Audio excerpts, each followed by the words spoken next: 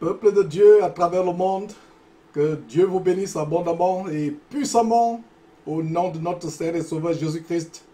C'est une grande joie d'être de retour, mes frères et sœurs, après plusieurs mois d'interruption pour commencer ce grand livre, le livre d'Ésaïe, le dévancier, le précurseur des quatre évangiles, Matthieu, Marc, Luc, Jean. Donc c'est vraiment une très grande joie, mes frères. Donc soyez les bienvenus derrière Jésus-Christ TV. Et nous vous saluons, mes frères, vous qui nous suivez à travers le monde, depuis euh, la télévision en Afrique sur le satellite euh, Intelsat 16A, et tous ceux qui nous suivent sur euh, nos chaînes YouTube, Facebook, ou qui nous suivent sur le site www.jésuschrist1.tv. Je suis dans la joie parce qu'en ce grand jour de l'an de grâce 2021, le samedi le 6 février 2001, le Seigneur m'a conservé, non seulement moi, mais les membres derrière euh, Jésus-Christ TV et au studio, nous a, l'Éternel nous a conservé la vie pour que nous venions encore proclamer l'infinie grandeur de la parole de Dieu. Donc mes frères, aujourd'hui, nous irons dans le livre d'Ésaïe, nous allons voir des grandes révélations dans le livre d'Ésaïe. Comme euh, je vous l'ai toujours dit, préparez vos bloc-notes, vos calepins, vos surligneurs. Nous irons, nous irons dans la parole de Dieu pour euh, voir de grandes choses. Mais comme vous le savez, avant quoi que ce soit que nous faisons, que ce soit en pensée, en parole, en action, nous faisons tout au nom de Jésus-Christ en rendant par lui des actions de grâce à Dieu son Père qui est notre Père. Mes sœurs, je ne me fatiguerai jamais de vous rappeler qu'une femme qui prit la tête non voilée est dans la malédiction de Nombre chapitre 5. La malédiction de Nombre chapitre 5. Une femme qui se présente devant l'Éternel à tête nue est en jugement elle est dans l'infamie, dans la malédiction. Allez bien lire, mes frères et sœurs, Nombre chapitre 5. Et je rends grâce à Dieu pour ce grand partage que j'ai eu avec le frère Modeste il y a quelques jours où nous démontrions à la lumière des Écritures. D'ailleurs, il exposait la révélation que Dieu lui a donnée. Comment la femme, depuis l'Ancien Testament, les femmes, quand elles se présentaient devant Dieu, elles avaient la tête voilée. C'est une révélation qui a été cachée pendant des années ou des siècles mais Dieu, par sa grâce, à travers le frère modeste, a apporté la lumière de comment, sur la base de Nombre chapitre 5, verset 18, la femme devait se présenter devant le sacrificateur, devant l'Éternel, ayant la tête euh, couverte. Et quand elle était accusée d'adultère, de fornication, d'adultère par son mari qui avait un esprit de jalousie, en présence du sacrificateur, on devait enlever son foulard, ce qui était une marque, une marque de, honte, une marque d'infamie. Et l'apôtre Paul, ayant profondément étudié la loi, par le Saint-Esprit, fait référence à cette scène, à cette euh, loi de Nombre chapitre 5. Il fait référence à cela en 1 euh, Corinthiens chapitre 11, verset, euh, vous pouvez lire du verset d'ailleurs 3 et suivant. Donc c'est une honte et une abomination et une grande injure adressée à Dieu pour une femme de prier la tête non voilée. Ma soeur, il serait mieux pour toi de te taire que d'entrer dans la présence de Dieu par les cantiques, par la prière ou par la prophétie en étant nu. Donc ta, chevelure n'est pas en voile, contrairement à ce que ces soi-disant pasteurs euh, euh, aimant la mondanité, la frivolité, vivant dans l'impudicité enseignent. Donc, voile-toi, je me ferai le devoir de rappeler ça. Et vous comprenez pourquoi le Saint-Esprit mettait dans mon cœur de rappeler ces choses encore et encore et encore et encore. Voilà. Même étant au studio, il y a une jeune sœur avec nous au studio aujourd'hui qui se couvre la tête. Qui se couvre la tête, mes frères et sœurs, nous devons nous couvrir la tête. Disons, vous, mes sœurs, couvrez-vous la tête? Et pour les frères, comme nous allons commencer cette prière, si vous avez quelque chose sur votre tête, une casquette, un chapeau, un képi, si vous êtes militaire ou policier, un béret, enlevez ces choses, une chichia. Ne commettez pas le risque d'insulter Dieu sur la base de 1 Corinthiens chapitre 11, verset 4, qui dit que l'homme qui prit la tête couverte déshonore, insulte son chef Jésus-Christ et Dieu au final. Pareil pour la femme. Donc, sœur, je t'en supplie, prends ton salut au sérieux. Et d'ailleurs, cet enseignement qui a été publié, dont le titre est Explosive révélation biblique des malédictions sur les femmes chrétiennes qui ne se voilent pas l'état en priant. Allez suivre, mes frères et sœurs, cet enseignement. Euh, multipliez cet enseignement, distribuez-le autour de vous, faites-le circuler afin que beaucoup, beaucoup soient délivrés, beaucoup soient bénis. Ne courez pas le risque de, euh, vous euh, disputer contre Dieu. Dieu aime, mes frères et sœurs. Dieu aime la soumission à la parole de Dieu. Dieu aime la soumission. Dieu a en horreur, en horreur la rébellion. Ne vous rébellez pas. Ne vous rébellez pas contre Dieu, peuple de Dieu. Alors, c'est une très grande joie de partager cet enseignement. Mes frères, je vais prier comme je l'ai annoncé. Éternel Dieu, c'est un plaisir de commencer ce grand livre qui a d'infinies grandes révélations, des révélations extraordinaires. Je t'en supplie, Seigneur, comme nous commençons cette émission, je ne viens pas avec mon intelligence, avec mes pensées. Seigneur Dieu, j'aimerais venir avec l'inspiration que tu nous donnes. Avant toute chose, j'aimerais te demander pardon pour nos fautes, pour nos péchés. Non seulement moi, ceux qui sont derrière Jésus-Christ TV, que ce soit ici au studio, que ce soit à travers le monde. Nous te demandons pardon, Seigneur Dieu, pour nos fautes, pour nos manquements, pour nos imperfections. Seigneur Dieu, rappelle-toi de comment cette chair est faible de temps en temps. Mais nous n'en faisons pas une excuse, Seigneur Dieu, pour pécher. Nous te demandons de nous fortifier, de nous encourager.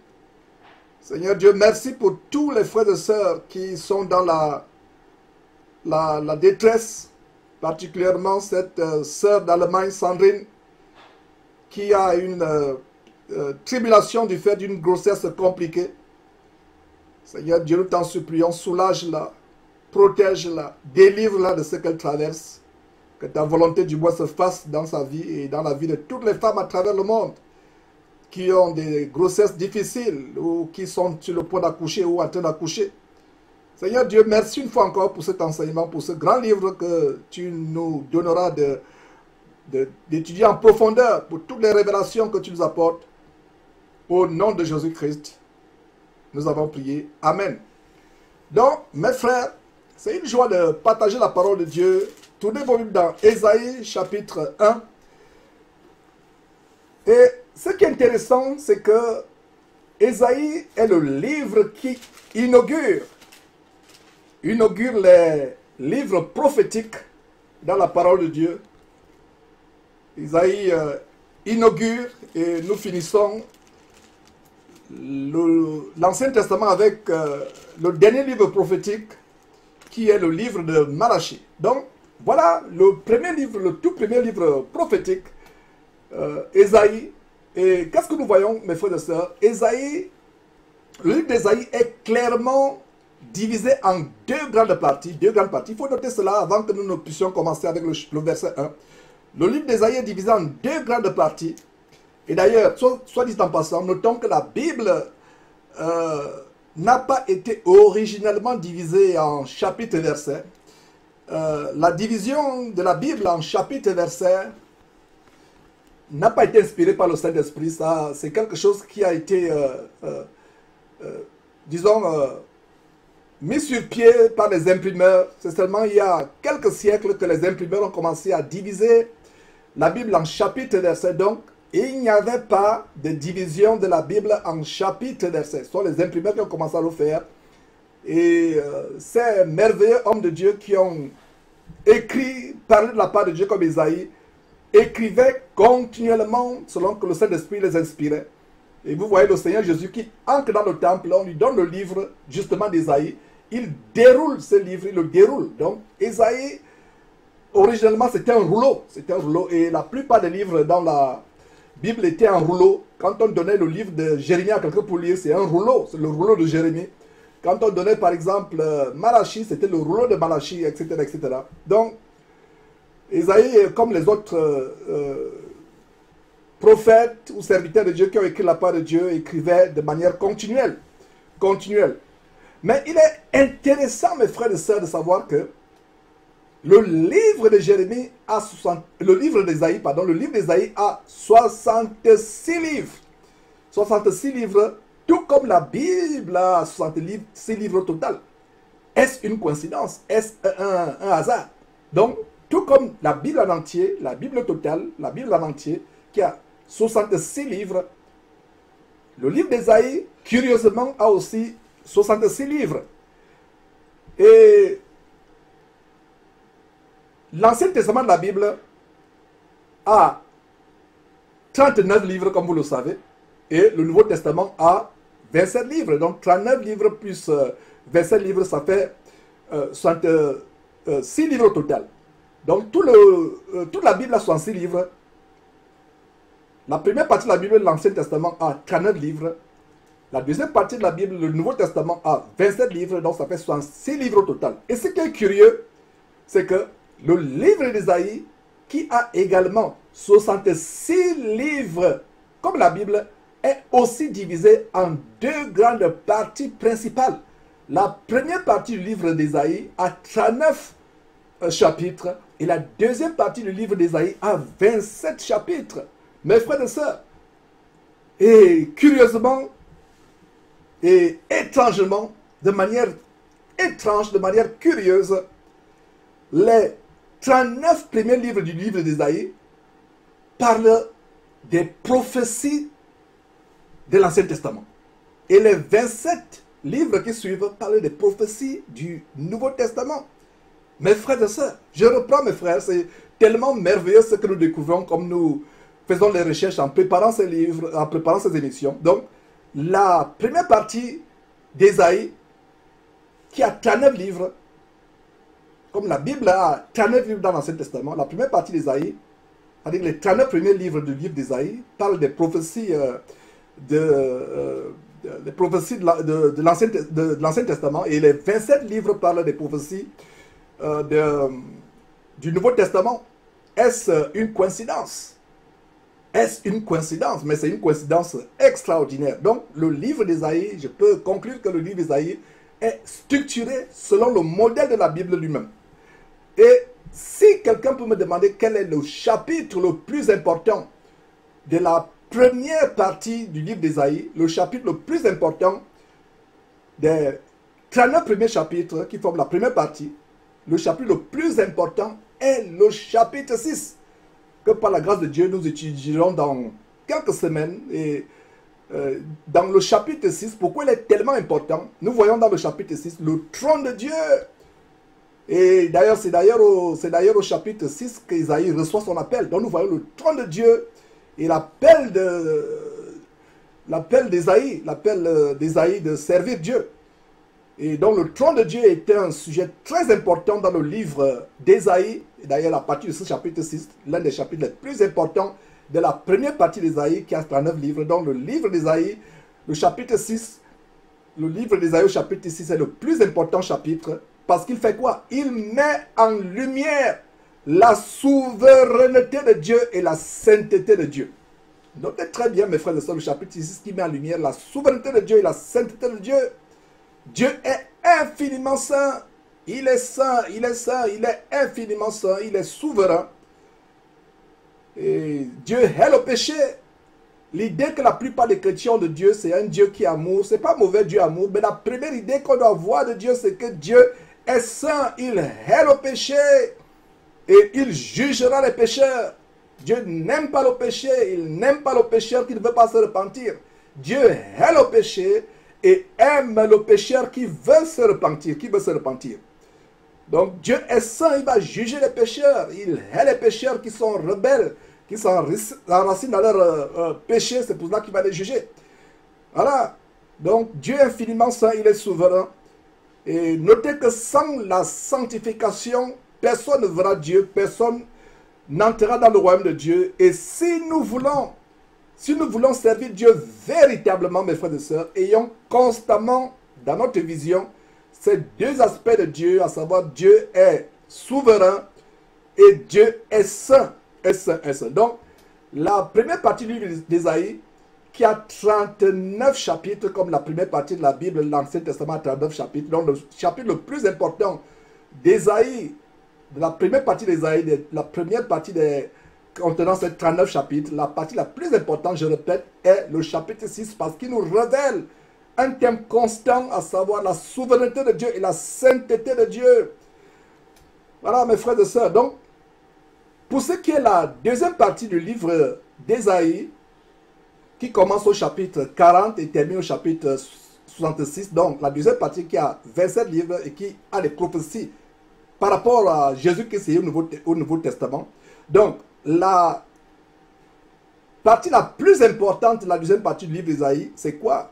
C'est le chapitre 53. Euh, Merveilleux chapitre, je languis déjà, j'anticipe mes frères et sœurs, le moment où nous allons étudier dans quelques mois, plaise à Dieu, ce chapitre 53, où nous voyons l'agneau, l'agneau de Dieu, Jésus-Christ, qui est décrit avec une incroyable, une extraordinaire exactitude, l'agneau de Dieu. Nous voyons en, Ésaïe chapitre 53 l'aspect physique de Jésus-Christ, comment il était, rien à voir avec ces faux Jésus que les gens dessinent euh, et qui vendent le, dimanche devant les temples, les cathédrales, etc. et que les gens accrochent à leur maison ou que les gens euh, ont à leur médaillon sur les chaînes au cou. Et ce n'est pas ce Jésus qui a les yeux bleus. Euh, un nez filé, etc. Ésaïe, plusieurs siècles avant la naissance de Jésus-Christ, décrit Jésus-Christ. Et dans le chapitre 6 est la deuxième, et le chapitre le plus important, le chapitre le plus important de la deuxième partie d'Ésaïe, parce qu'il nous, il nous présente l'agneau de Dieu. Qui est l'agneau de Dieu Jésus-Christ. Quel est son aspect euh, physique Et nous avons les, détails sur euh, ses souffrances, ses tribulations, sa mort sacrificielle et salvatrice sur la croix pour nous sauver, vous et moi. Et nous avons les détails sur son tombeau. On a mis son tombeau parmi les riches et nous voyons comment c'est un riche, Joseph d'Arimathée, qui a offert la sépulture à Jésus. Incroyable révélation, mes frères et sœurs. Je vous mets déjà de l'eau à la bouche. Je salive vos bouches, bibliquement parlant. Et nous allons voir des grandes révélations pour ceux qui ratent ces émissions. Vous ne savez pas ce que vous ratez. Vous ne savez pas ce que vous ratez. C'est des grandes révélations, mes frères et sœurs, que nous allons voir, qui vont nous remplir de joie et nous allons comprendre l'infinie grandeur de la parole de Dieu. La parole de Dieu merveilleuse et inégalable. Donc, euh, nous voyons donc, je résume mes frères et sœurs, le plus grand chapitre de la première partie d'Ésaïe, c'est le chapitre 6. On voit le trône de Dieu Dieu est présenté dans sa souveraineté, dans sa sainteté, et un Dieu qui hait le péché. Et d'ailleurs, on va voir comment Isaïe euh, euh, a peur parce qu'il dit, il, se voit impur, vraiment, il tremble devant Dieu. Et aujourd'hui, nous avons des gens qui vont dans ces églises habillés, habillés comme des prostituées, habillés comme des gens du monde. Ils vont à Dieu, ils n'ont pas peur de Dieu. Ces femmes qui se rebellent, qui ne veulent pas se voir la tête, n'ont pas peur de Dieu. Nous voyons comment Esaïe a peur devant la sainteté de Dieu. Donc le chapitre 6, qui est le chapitre le plus important de la première partie du livre d'Isaïe, nous montre le trône de Dieu et l'agneau de Dieu. Et le chapitre 53 euh, euh, est le chapitre le plus important qui nous montre l'agneau de Dieu. Et qu'est-ce qu'on remarque, mes frères et sœurs? Dans Apocalypse chapitre 5, euh, on voit les deux ensemble. On voit l'agneau de Dieu face à Dieu sur son trône. Incroyable que Esaïe avait ces révélations d'une exactitude qui donne la chair de poule. Esaïe avait déjà vu dans deux chapitres importants, chapitre 6, il voit le trône de Dieu, la grandeur de Dieu. Et au chapitre 53, il voit l'agneau sur le trône. Je vais dire l'agneau face au trône de Dieu. Donc nous voyons en Apocalypse chapitre 5, euh, euh, la révélation donnée à Jean, nous voyons les deux, l'agneau de Dieu face à Dieu sur son trône, les deux ensemble. Vous voyez comment la parole de Dieu s'accorde comme les mains d'une chaîne. Incroyable révélation. Donc dans les derniers chapitres du livre d'Ésaïe, on voit Jésus-Christ comme euh, un agneau, on voit Jésus-Christ comme un serviteur, l'envoyé de Dieu, le messager de Dieu pour faire sa volonté sur terre. Et c'est exactement ce que les quatre évangiles, les quatre évangiles nous montrent. C'est pour ça que je dis qu'Isaïe est considéré comme le cinquième évangile et le dévancier des autres évangiles. Parce que le dernier chapitre d'Isaïe nous montre clairement Jésus en tant qu'un serviteur et le modèle à suivre pour nous qui voulons servir le, qui voulons servir Dieu, un modèle de soumission, un modèle d'obéissance, d'humilité, de modestie, ne faisant pas sa volonté, mais faisant la volonté de son Père qui l'a envoyé. Donc, nous voyons dans le livre d'Isaïe, ainsi que dans les épîtres, nous voyons, mes frères et sœurs, comment le Seigneur Jésus est mis dans, comme un, exemple à suivre. Un exemple à suivre. Le livre d'Ésaïe ainsi que le, les, quatre évangiles, Matthieu, Marc, Luc et Jean, nous montrent vraiment Jésus comme un modèle, un modèle euh, que nous, voulons, nous devons suivre, jour après jour. Ne pas s'écarter, s'écarter de ce modèle. Donc c'est une joie. Et un autre détail que je m'aimerais mentionner avant de commencer avec le verset 1, c'est que l'expression l'éternel des armées est reprise 62 fois à travers les 66 livres que constitue le livre d'Isaïe. Je reprends l'expression l'éternel des armées est reprise encore et encore et encore et encore. Donc nous voyons qu'est-ce qui était derrière Esaïe dans sa tête, comme il recevait ses révélations. Et si vous voyez quelqu'un dans ses écrits ou dans ses discours reprendre la même parole, la même expression, ça veut dire que cela est d'une importance capitale. Bien de fois, nous aimons prier, éternel les armées, délivre-moi, éternel les armées, apporte-moi le secours, guéris-moi, apporte-moi la, la, délivrance, éternel les armées. Est-ce que vous saviez que le livre d'Ésaïe a ce thème, a cette expression de manière récurrente, 62 fois dans ce livre, l'expression l'éternel des armées revient encore et encore et encore. Et c'est une expression qui nous montre la toute-puissance de Dieu face aux armées des ténèbres, face aux armées de Lucifer, de Satan. Donc nous devons être conscients de l'infinie grandeur, la puissance de Dieu. Et le thème l'éternel des armées, ce n'est pas seulement pour nous encourager dans nos combats face aux ennemis, à Satan, aux démons, mais c'est aussi pour nous encourager face au péché. Parce que la première bataille que nous devons livrer en tant que chrétiens, ce n'est pas la bataille contre les démons, c'est la bataille contre le péché dans nos membres. Le péché n'aura pas de pouvoir dans notre chair. Le péché n'aura pas de pouvoir dans notre chair. Nous serons délivrés du péché. Donc, c'est merveilleux de savoir, mes frères et sœurs, ces grandes révélations et donc, euh, ayant donné cette introduction, je vous prie de tourner au chapitre 1. Nous allons commencer. Donc, qu'est-ce que nous lisons? Isaïe chapitre 1, verset 1. Prophétie d'Isaïe, fils d'Amoth, sur Juda et sur, Jérusalem. Au temps d'Ozias, de Jotam, d'Achaz, d'Ézéchias, roi de Juda. Il est intéressant, mes frères et sœurs, de comprendre le contexte historique dans lequel Esaïe a vécu et durant lequel Esaïe a fait des prophéties.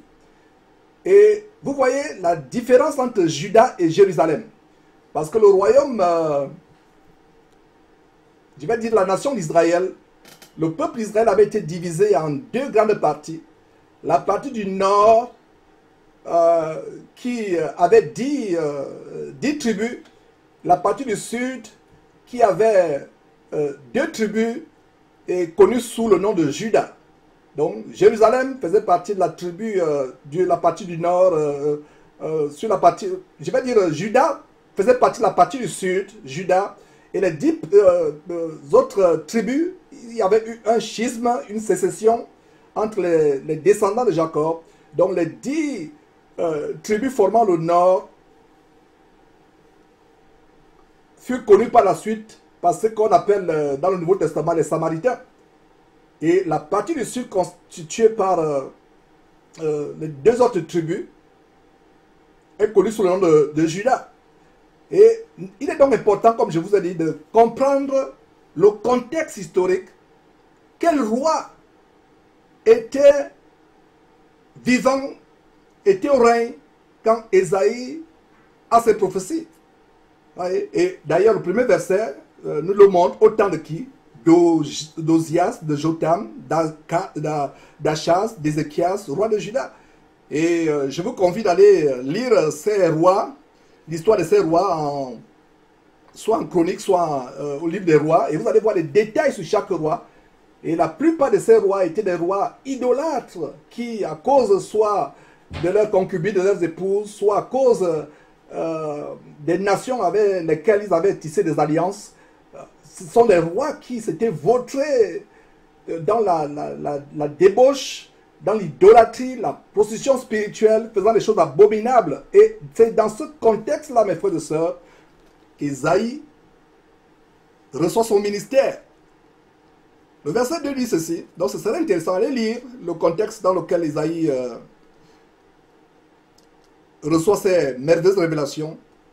Et d'ailleurs, on, on, verra l'appel d'Isaïe au chapitre 6, euh, plaise à Dieu. Alors il a dit quoi? Prophétie d'Isaïe, fils d'Amos, sur euh, Juda et Jérusalem, au temps d'Ozias, de Jotam, d'Achaz, d'Ézéchias, roi de Juda.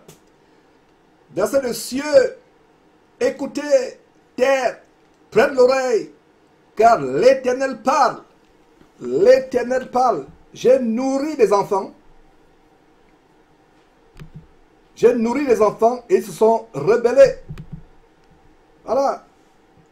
J'ai nourri les enfants, j'ai nourri et élevé les enfants, mais ils sont rebellés contre moi. La rébellion est quelque chose de terrible aux yeux de Dieu. Regarde le verset 2. Cieux, écoutez, que soit toute l'armée des cieux. Et quand on parle de l'armée des cieux, il y a l'armée des cieux du côté de,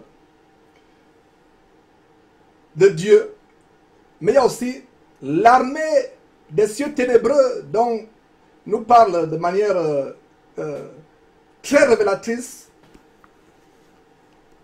Éphésiens chapitre 6.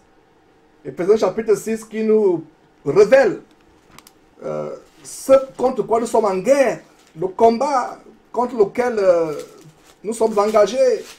Et Éphésiens chapitre 6 au verset 12, il a dit, car nous n'avons pas à lutter contre la chair et le sang, mais contre les dominations, contre les autorités, contre les princes de ce monde des ténèbres, contre les esprits méchants dans les lieux célestes. Voilà.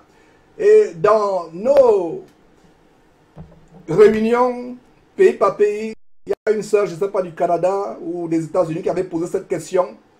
Quelle est la différence entre euh, l'armée des cieux du côté de Satan et l'armée des cieux du côté euh, de Dieu.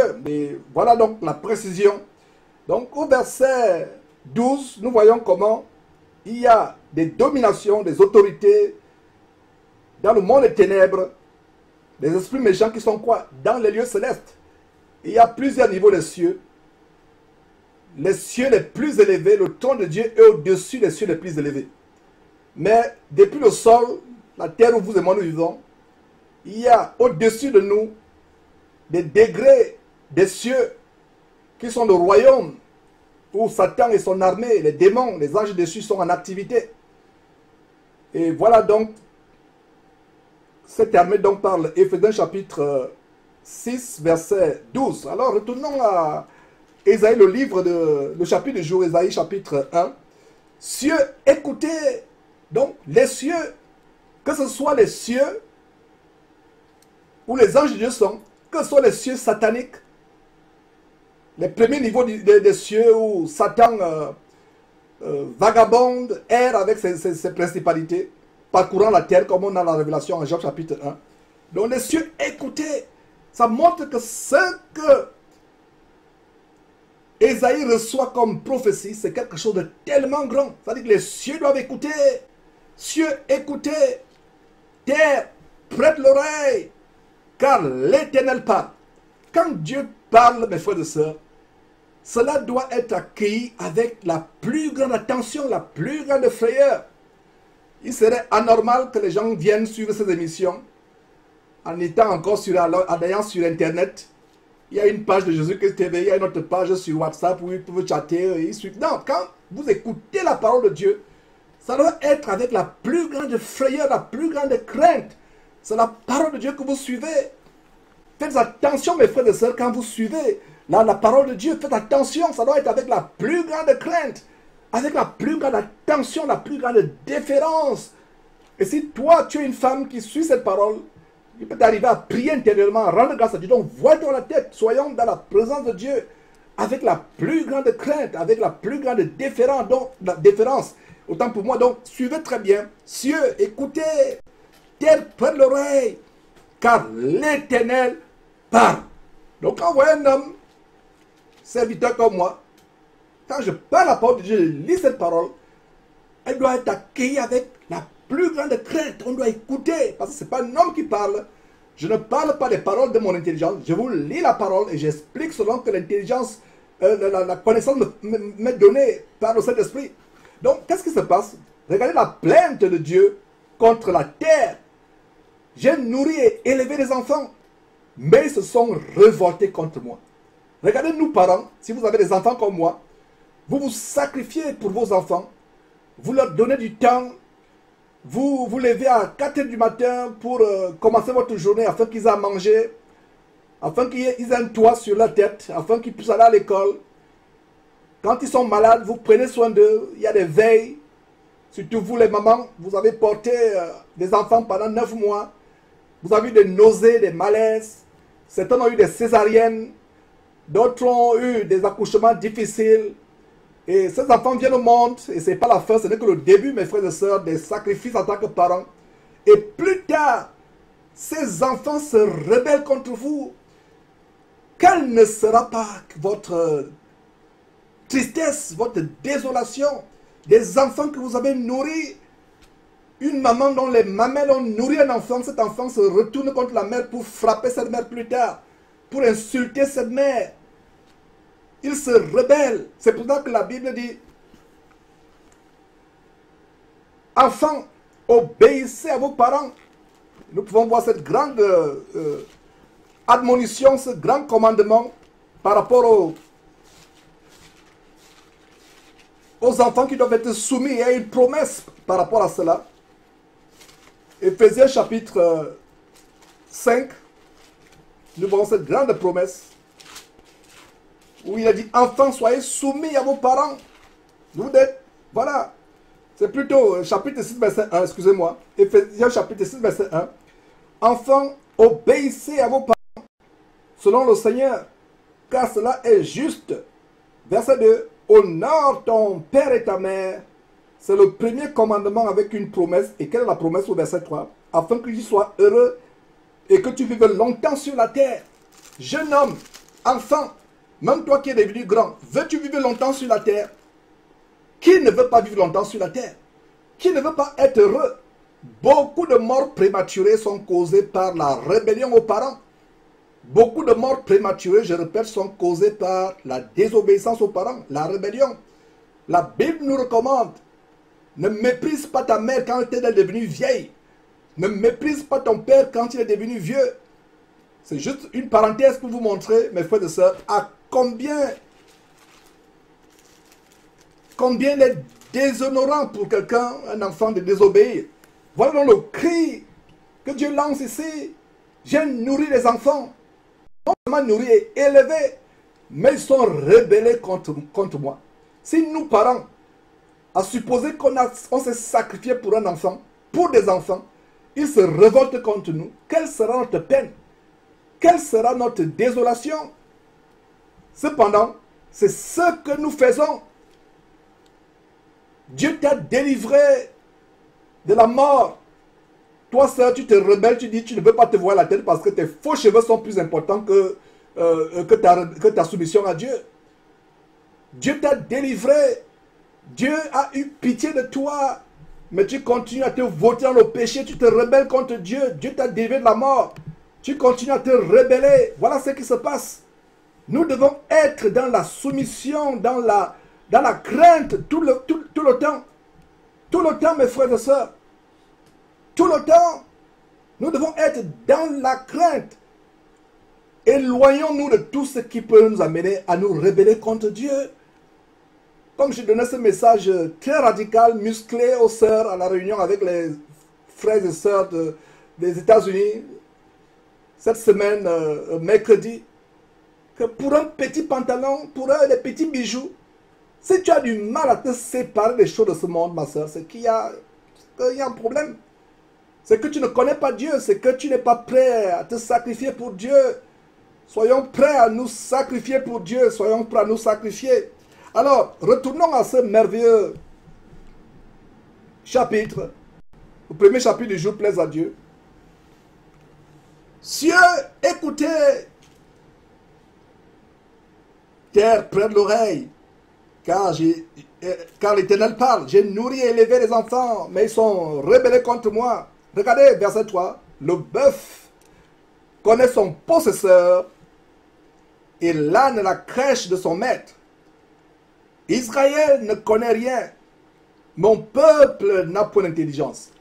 Et chaque fois que nous lisons Israël ou Sion ou mon peuple dans l'Ancien Testament, nous chrétiens, ça s'adresse directement à nous. Ça, c'est des recettes de compréhension de la parole de Dieu, parce que cette parole de Dieu nous, nous est adressée. Israël, au temps d'Ésaïe, euh, n'existe plus. Il ne veut plus. Tous sont morts. Et cette parole demeure vivante. Et quand cette parole dit Israël, ça ne s'adresse pas à ceux qui, au temps d'Ésaïe, sont morts, à qui cette parole s'adressait. La parole de Dieu est vivante, elle est éternelle. Donc quand nous lisons Israël, la nouvelle Israël aujourd'hui, la nouvelle Jérusalem aujourd'hui, c'est vous et moi. C'est l'église de Dieu à travers le monde. Donc ce passage nous est directement adressé. Ne pensez pas que nous sommes en train d'étudier un livre historique. Non.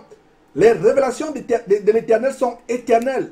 Elles s'adressent à toutes les générations d'éternité à l'éternité jusqu'à ce que le Seigneur Jésus-Christ revienne. Les révélations de Dieu sont éternelles. Alors, voilà le verset 3 nouveau. Le peuple connaît son possesseur et l'âne la crèche de son maître. Israël ne connaît rien.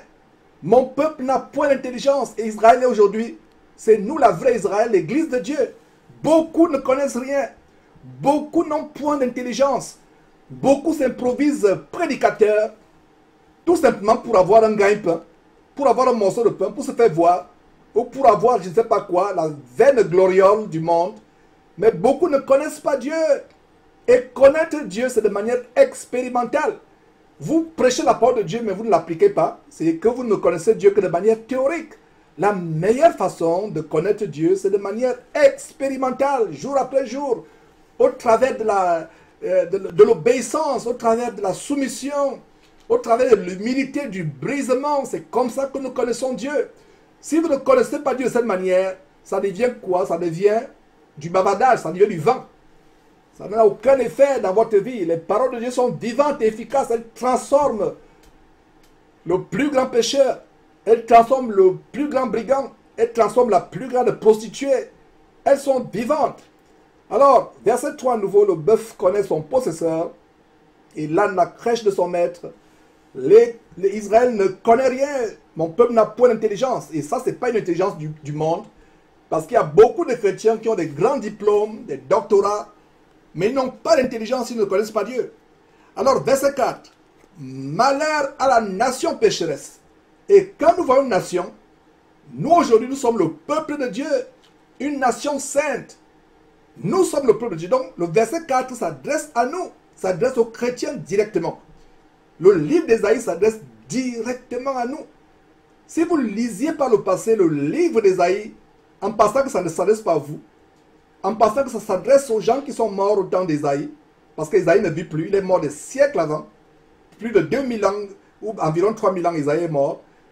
Ceux à qui s'adressait sont morts, mais cette Bible, cette partie de la Bible d'Ésaïe, le livre d'Ésaïe, demeure pour vous et moi, pour notre instruction. Alors, quand il est dit au verset 4, euh, euh, malheur à la nation pécheresse, mettons ce verset dans ce contexte aujourd'hui, ça veut dire quoi? Malheur à l'église pécheresse, malheur aux chrétiens pécheurs, au peuple chargé d'iniquité, Dans le verset 4, si vous comprenez que le verset 4, ça s'adresse à vous, à vous et moi, pas seulement vous seulement, vous et moi qui vous parle. Verset 4, malheur. Il a dit bonheur. Non. Il a dit malheur, c'est la malédiction. Le malheur ici signifie souligner malheur à la nation pécheresse. Et à côté de nation pécheresse, mettez Église de Christ aujourd'hui. Et vous faites partie de l'Église de Christ, ça s'adresse à vous et moi. Malheur à la nation comment?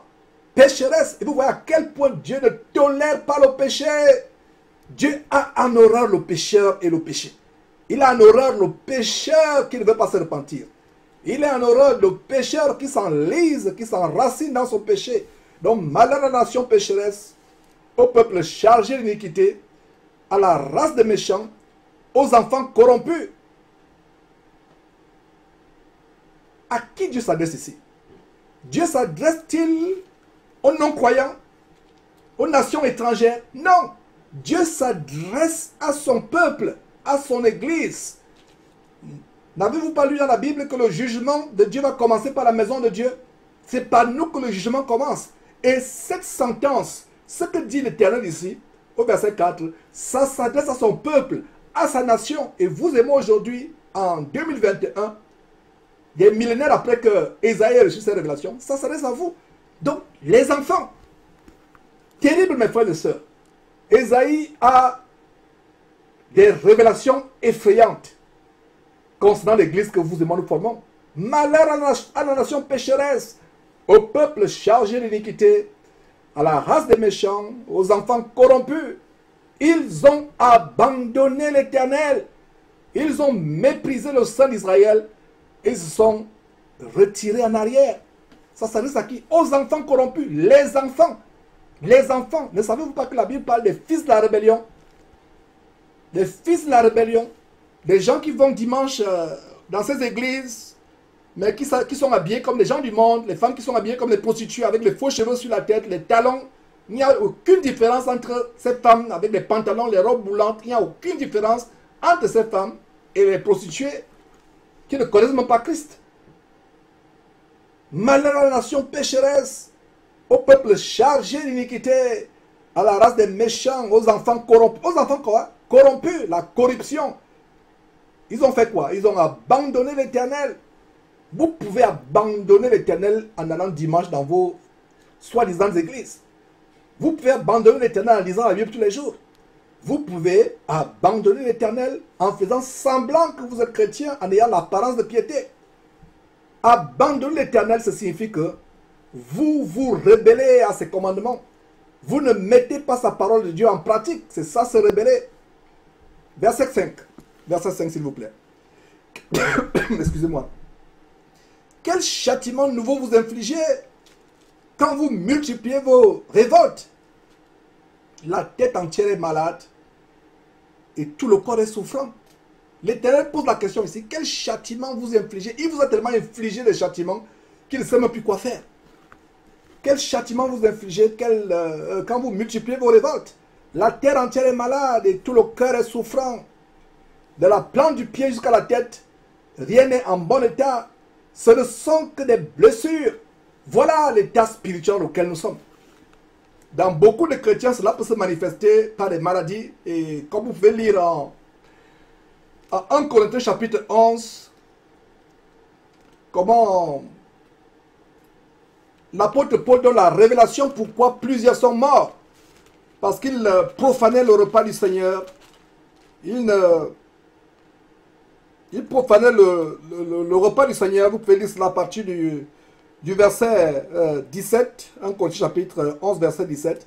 Et à la fin, beaucoup sont morts parce qu'en prenant le repas du Seigneur, que les gens appellent communément la Sainte Seine, euh, certains viennent étant ivrognes, D'autres euh, viennent euh, pour la gloutonnerie, euh, ils se disputent le repas, etc. C'est un meurtre. Donc, le verset 6 parle, verset 5 parle de comment la tête entière est malade et tout le cœur est souffrant. Et le verset 6 par la suite parle de la plante des pieds jusqu'à la tête, rien n'est en bon état, ce ne sont, ce ne sont que blessures, contusions et plaies vives qui n'ont été ni pensés, ni bandés, ni adoucis par l'huile. ni adouci par l'huile. Voyez mes frères, la révélation ici. Il peut arriver que par notre manière vaine de marcher, notre rébellion, nous serons frappés par la maladie, par la mort précoce. Mais même s'il n'y a pas de blessures, même s'il n'y a pas sur votre corps des plaies vives, des blessures, des contusions, il y a des blessures spirituelles en l'âme. Donc, voyez ce verset à double sens. Blessures physiques, contusions, plaies purulentes, sanguinolentes sur le plan physique, mais également sur le plan spirituel, qui n'ont été ni pensées, ni bandées, ni adoucies par l'huile. Et le verset, la fin du verset, adouci par l'huile, entre parenthèses, nous donne un détail sur euh, l'huile d'onction. Quand Jacques dit en Jacques chapitre 5 que euh, celui qui est malade, qui appelle les anciens et que les anciens prient pour lui en loignant d'huile. C'est devenu un rituel aujourd'hui. Je vous disais il y a quelques jours, dans une des réunions avec euh, l'un des pays, que l'huile, dans la Bible, avait un usage médical. Au-delà du fait que c'était pour, pour consacrer les sacrificateurs, les rois, l'huile avait une propriété de guérison, une propriété médicinale. Et donc, voilà la révélation de ce que je vous disais. Donc, c'est une parenthèse tout simplement. Vos euh, verset 6 de la plante du pied jusqu'à la tête, rien n'est en bon état. Ce ne sont que blessures, contusions et plaies vives qui n'ont ni été pensées, ni bandées, ni adoucies par l'huile. Adoucies par l'huile, c'est le contexte médical de l'époque. Verset 7. Votre pays est dévasté. Vos villes sont consumées par le feu. Voilà. Votre pays s'appelle le pays en entier. Quel est le premier pays du chrétien? C'est sa maison. Sa maison, sa femme, son enfant, ses enfants, son époux, son épouse. Voilà notre première maison. Le pays est dévasté. Cela signifie quoi?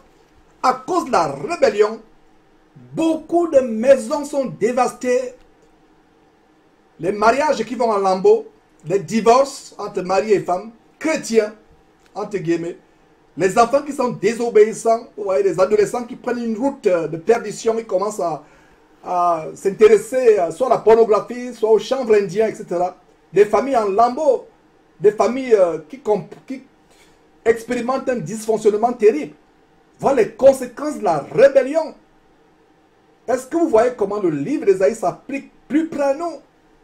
Même parmi les chrétiens, il y a la désolation dans les familles. Parce qu'avant que le pays soit dévasté, le pays commence par vous et moi et nos familles. Ça commence par la famille. Dévasté. Les foyers sont consumés par le feu. Consumés.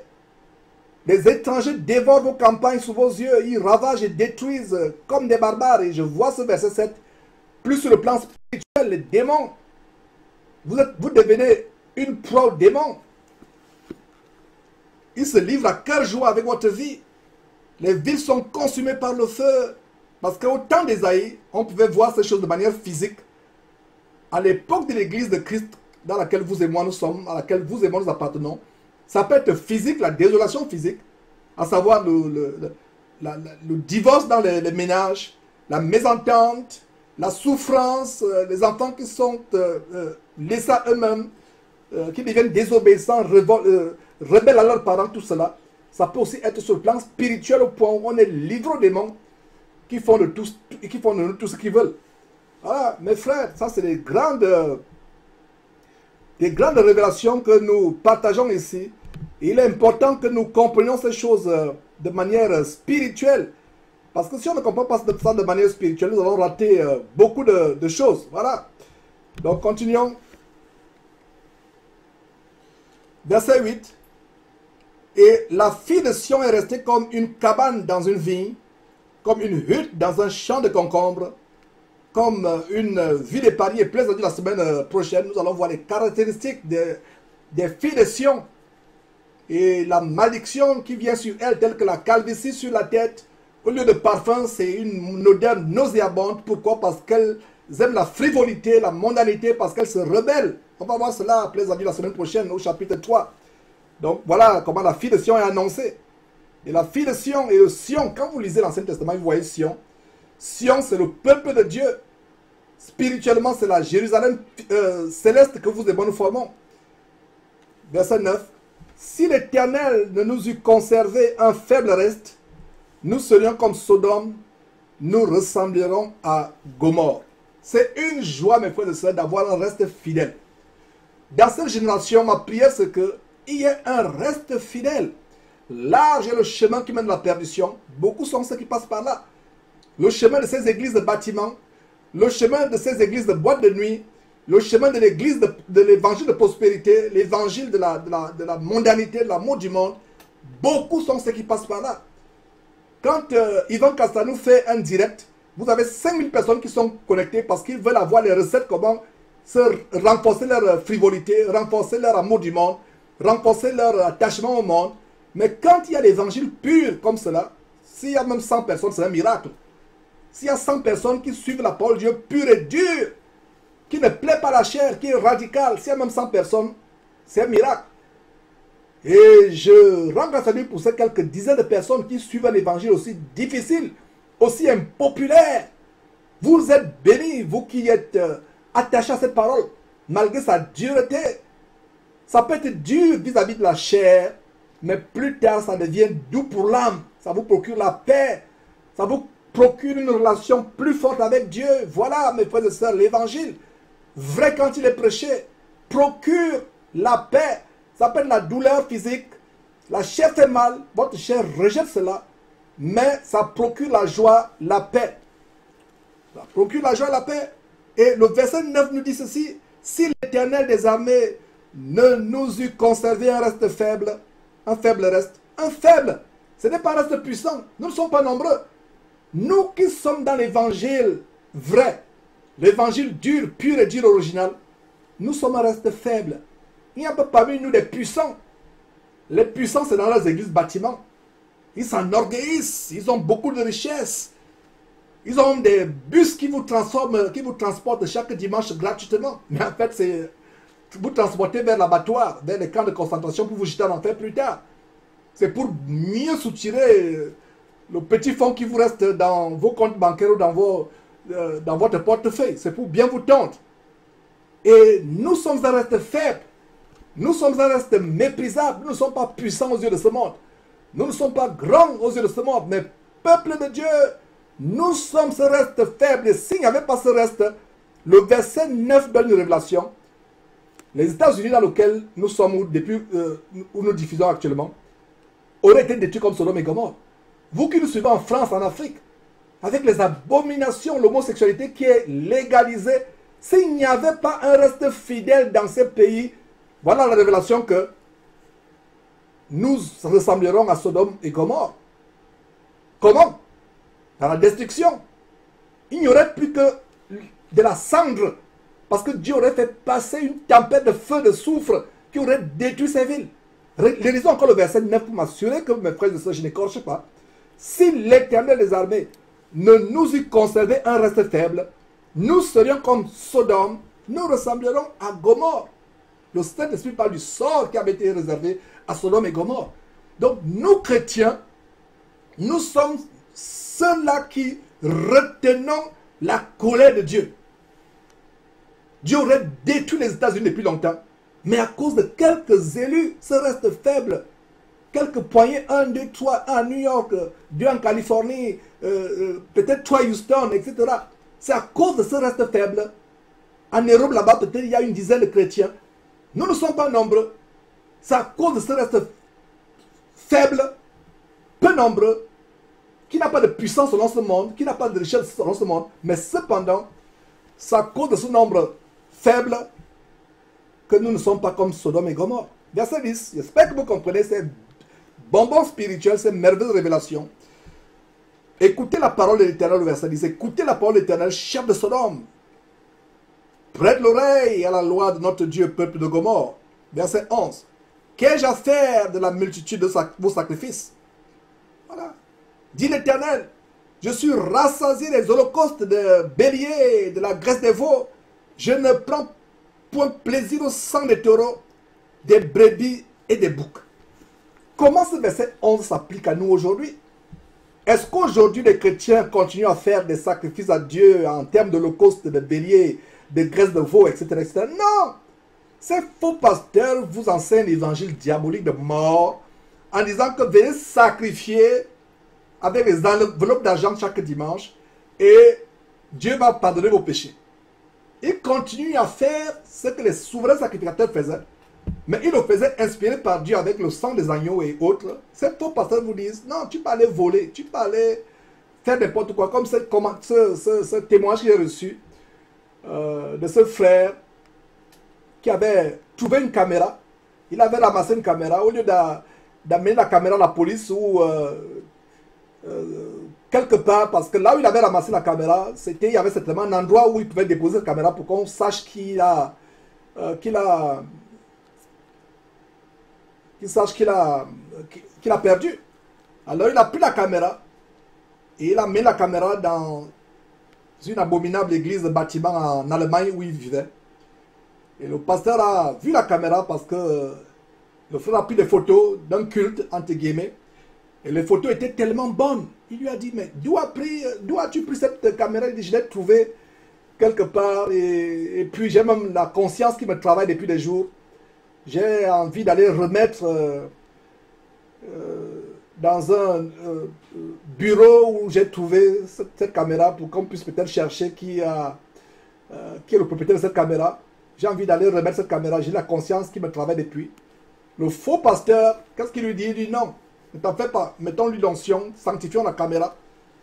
Et puisque ça fait l'œuvre de Dieu, c'est certainement Dieu qui a fait qu'elle se perde pour que nous puissions, puisse, servir.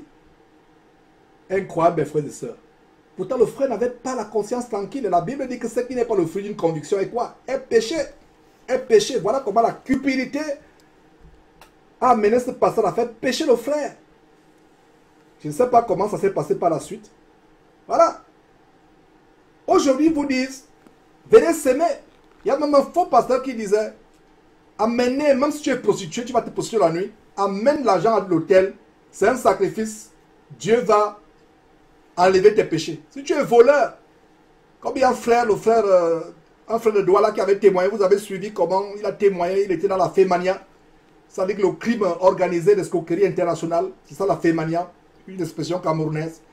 Alors il était un féman et un jour il, s'apprêtait à aller frapper. Lui aussi il était dans une, dans une églisette, une église euh, bâtiment abominable. Où le pasteur prie avec lui, le pasteur le prépare, lui impose les mains, prie pour lui, il y a une veillée. Avant d'aller frapper à Dubaï, en Allemagne, en Russie, le pasteur fait une veillée, il t'impose les mains, il prie pour toi pour que tu ailles frapper les riches avec la fausse monnaie. C'est terrible, mes frères et sœurs. Et il te dit non, ne t'en fais pas. L'argent que tu apportes, c'est l'argent là qui couvre tes, tes péchés. Est-ce que vous voyez comment le verset 11 s'applique à nous aujourd'hui? Ça s'applique à nous, c'est pour cela que je vous dis. Cette Bible s'adresse directement à nous. L'Internet dit quoi? Ce ne sont pas tes graisses de veau, tes holocaustes de bélier, tes veaux gras, tes taureaux. Ce ne sont pas tes enveloppes d'argent. Ce ne sont pas tes dîmes. Et d'ailleurs, la dîme n'est plus, dîme ou 10% n'est plus pour les chrétiens. Parce que les chrétiens ne sont plus limités par un pourcentage. Tu n'es pas tenu de donner, ce n'est pas une obligation. Tu donnes comme tu veux. Tu ne veux pas donner, tu ne donnes pas. Tu ne donnes pas par contrainte. On ne te force pas à donner. On ne t'oblige pas, on ne te manipule pas pour que tu donnes. On ne te maudit pas pour que tu donnes. On ne te menace pas de malédiction de mort pour que tu donnes. On ne te menace pas d'accident de circulation pour que tu donnes. On ne te menace pas de mort pour que tu donnes. Tu donnes volontairement, sans contrainte ni tristesse. C'est ça l'offrande volontaire aujourd'hui. Et ce n'est pas au faux pasteur. Parce que les pasteurs doivent travailler comme nous tous nous travaillons. Maintenant, si vous voulez soutenir une œuvre d'évangélisation, comme cette télévision en Afrique où les frères de sœurs sont en train de le suivre directement, actuellement en direct dans la télévision, pas sur le satellite. Voilà, c'est ça. Votre argent ne rentre pas dans mes poches à moi, Georges. Parce que mon épouse et moi, nous avons la grâce d'avoir des boulots. Votre argent, c'est pour que les frères et sœurs en Afrique aient l'évangile. Voilà pourquoi nous donnons. Nous donnons aussi aux pauvres ou aux orphelins, ceux qui n'ont pas. Non seulement les pauvres parmi les chrétiens, non seulement les orphelins et les veuves parmi les chrétiens, mais même ceux qui sont hors des chrétiens, que ce soit les musulmans, que ce soit les bouddhistes, les voisins du quartier, peu importe qu'ils soient chrétiens ou pas, vous remarquez qu'il y a des enfants qui manquent de quoi, qui n'ont pas de quoi manger ou de quoi se vêtir, vous prenez une partie de vos revenus, vous allez donner à telle famille ce mois. telle autre famille, autre moi. Vous soutenez une œuvre comme cette œuvre Jésus-Christ pour que Georges s'enrichisse Non. Pour que Georges ait de quoi manger Non. Pour que l'évangile se répande à travers le monde. Parce que Georges, en tant que prédicateur, doit travailler pour pouvoir aux besoins de sa famille. J'espère que vous me comprenez par rapport à la dîme. Alors, revenons sur ce sujet. Regardez comment le verset 11 nous est adressé directement. Je relisons ce verset. Qu'ai-je à faire de la multitude de sacrifices de l'éternel? Je suis rassasié des holocaustes de bélier et de la graisse des veaux. Je ne prends point plaisir au sang des taureaux, des brebis et des boucs. Voilà. Donc, quand pasteur ne tente même plus de vous dire encore un jour que venez sacrifier vos enveloppes d'argent, Dieu va couvrir vos fautes. Tu continues à vivre dans l'adultère. Tu as divorcé, toi ma soeur entre guillemets, tu t'es remarié alors que Dieu t'interdit de divorcer et te remarier. Toi mon frère, tu as épousé une femme divorcée. Toi mon frère et ma soeur, vous vivez, ma soeur et frère, mon frère et ma soeur entre guillemets, vous vivez dans la fornication, le sexe avant le mariage. Et le pasteur vous dit non, ne vous en faites pas, donnez seulement l'argent, je vais prier pour vous. Est-ce que vous voyez, mes frères et sœurs, comment le verset 11 d'Ésaïe s'adresse directement aux chrétiens aujourd'hui Dieu dit quoi? Qu'ai-je à faire de la multitude de vos sacrifices? Une corbeille pleine d'enveloppes le dimanche, enveloppes d'argent. Dieu dit Qu'ai-je à faire de vos enveloppes, de vos corbeilles pleines d'enveloppes de billets de banque? Je suis rassasié de vos, de, vos des holocaustes des béliers et de la graisse des veaux. Je ne prends plaisir au sang des taureaux des brebis et des boucs. Verset 12. Quand vous venez vous présenter devant moi, qui vous demande de souiller mes parvis, vous vous présentez devant Dieu. Le corps de Christ, d'abord, sept temples sont les pierres mortes, mais quand nous nous rassemblons, les assemblées chrétiennes, parce que l'église, c'est les assemblées chrétiennes, là où deux ou trois sont réunis, et le verset nous dit quoi? Quand vous venez vous présenter devant moi, et regarde encore la merveilleuse, la révélation que Modeste depuis le Cameroun a partagée hier. Comment, en Nombre chapitre 5, verset 18, quand une femme venait se présenter devant l'Éternel, elle avait la tête couverte. Ce n'est que quand elle était soupçonnée de prostitution, soupçonnée d'adultère, que le sacrificateur faisait quelque chose qui était honteux pour la femme, à savoir lui enlever le voile qui était sur la tête. Grande révélation, mes frères et sœurs. Si vous n'avez pas suivi cet enseignement, allez le suivre et multipliez cet enseignement. Il s'intitule, il est sur YouTube, il s'intitule Explosive révélation biblique sur la malédiction des femmes chrétiennes, entre guillemets, qui prient sans se voir la tête. Allez suivre cela. Allez suivre cela, mes frères et sœurs. Allez suivre cette révélation. Dieu est un Dieu qui fait des grandes choses dans nos vies quand nous sommes fidèle, obéissant, mais Dieu nous met sous le jugement, sous la malédiction, quand nous nous éloignons de sa parole, de sa parole. Alors mes frères, allez suivre cet enseignement. Grande révélation de comment une femme qui prit la tête non voilée, elle-même se met en jugement devant Dieu. Dieu n'a même pas appelé en jugement. Elle-même se met en jugement. Parce que la femme qui était décoiffée, dévoilée, c'est-à-dire qu'on enlevait son foulard ou son voile, ou son, le sur sa tête, elle était dans une position d'infamie, de honte, parce qu'elle était soupçonnée d'avoir trompé son mari en Nombre chapitre 5, euh, verset 18. Alors voilà les sœurs qui vont se présenter devant Dieu délibérément, volontairement, en se découvrant la tête. Donc elle-même se met en jugement. Elle tend sa tête, d'ailleurs qui est chauve parce que les faux cheveux, les tissages, les défrisages et autres, on leur rendu chauve. Donc elle tend sa tête chauve et abominable devant Dieu. Elle se rebelle. Elle se rebelle. Supporter ma dureté parce qu'il y a trop de rébellion. Et les gens comme Esaïe dans leur époque étaient établis pour confronter la rébellion du peuple de Dieu. Et aujourd'hui, Jésus-Christ est établi pour confronter la rébellion dans le corps de Christ aujourd'hui. Avec des pasteurs euh, euh, pédérastes, pédophiles, euh, des chantres homosexuels comme Excel qui, qui défend la chronique. Et en passant, il a fait fermer la vidéo sur YouTube. Mais la vidéo est sur,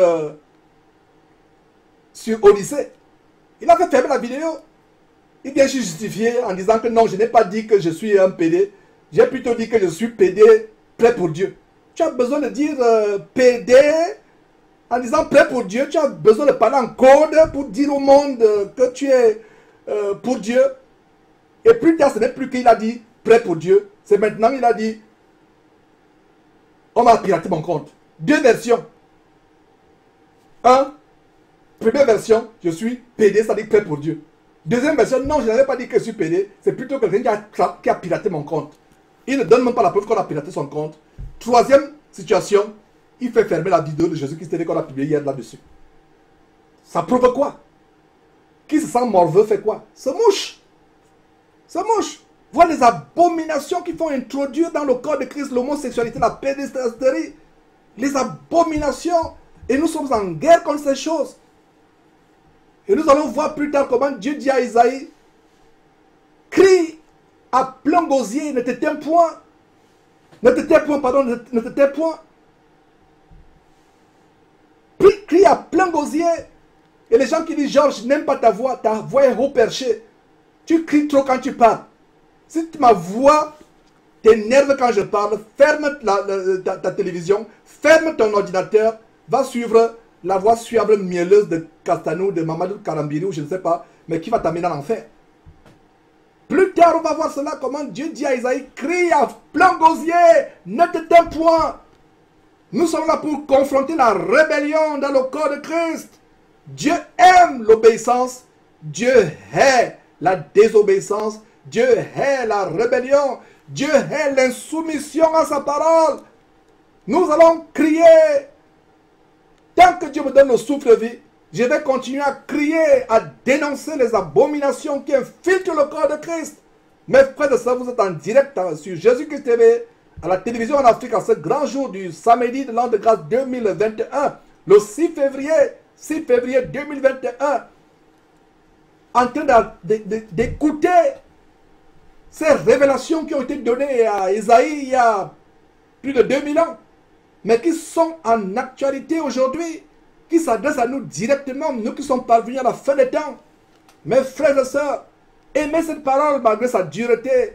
Cette parole peut être dure, peut vous faire mal à la chair, mais plus tard elle procure la vie, plus elle procure la délivrance, plus elle procure la guérison de votre âme. L'enfer, mes frères et sœurs, l'enfer est en train de peupler avant qu'il soit ouvert. L'enfer n'est pas encore ouvert, mais il est déjà peuplé. Il est déjà bondé, bondé, bondé de monde. Et les gens ne font que tomber en enfer tous les jours, tous les jours avec la désobéissance. Avec la désobéissance, mes frères et sœurs, nous devons aller à Dieu tous les jours. Avec l'obéissance. Rien ne sert de venir tous les samedis ou de venir sur Jésus qui TV, écouter ces choses, ça entre là, ça sort là, ah, il enseigne bien, j'aime sa façon par laquelle il enseigne. Ah, j'ai dit Amen. Je n'ai pas besoin de vos Amen. Je, je n'ai pas besoin de vos flatteries, de vos appréciations. Tout ce, que Dieu dont Dieu a besoin, c'est que cette parole soit mise en application. Voilà. Nous crions. Dieu a dit à Esaïe, crie, crie, crie, ne te point. Crie contre ce peuple rebelle. Crie, crie contre ce peuple au cou raide, au cou tendu. Vous voyez ces faux pasteurs comme euh, euh Chinasi, quand il prie, il a le micro, le cou tendu comme s'il défiait Dieu. Crie contre ces gens, crie contre ces choses. Ils ont la parole, ils ont la parole de piété. Et même Jean-Baptiste, qu'est-ce qu'il a dit de Jean-Baptiste? C'est la voix de celui qui crie dans le désert. C'est la voix de celui qui crie. Donc mon frère, ma soeur, tu n'aimes pas ma voix criante. Tu n'aimes pas ma voix haut perché. Ferme Jésus-Christ TV. Va t'abreuver chez Ivan Kassanou. Avec ta voix mielleuse. Il va, te flatter et t'envoyer en enfer. Mais en attendant que tu sois en enfer, il va bien te dépouiller jusqu'à ton dernier caleçon. Retournons dans la parole de Dieu, mes frères et sœurs. Regardez, verset 12. Quand vous venez vous présenter devant moi, qui vous demande de souiller mes parvis? Dans ce temple qu'ils appellent euh, église, mais qui ne sont que des synagogues de Satan, des habitations de démons. Regardez comment les femmes vont habillées comme des prostituées. Qui vous demande de souiller là où Dieu est? Parce que Dieu est où? Jésus a dit, là où deux ou trois sont assemblés à mon nom, je suis au milieu de vous. Donc ma soeur, avec ces faux cheveux que tu mets sur ta tête, avec ces faux ongles, cette, Cette peinture que tu mets sur ton visage, tu vas te présenter devant Dieu ressemblant à Jézabel.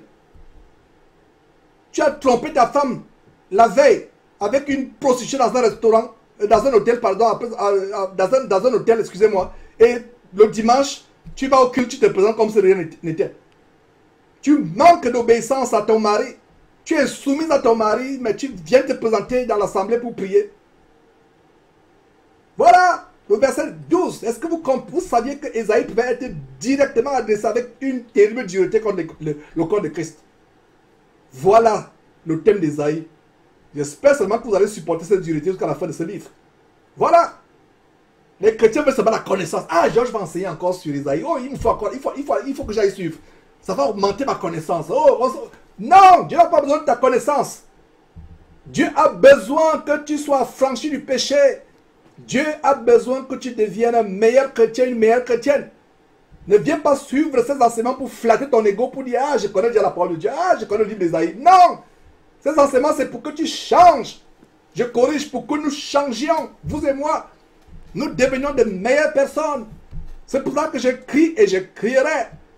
Celui qui ne veut pas que je crie, c'est pas son problème. C'est son problème.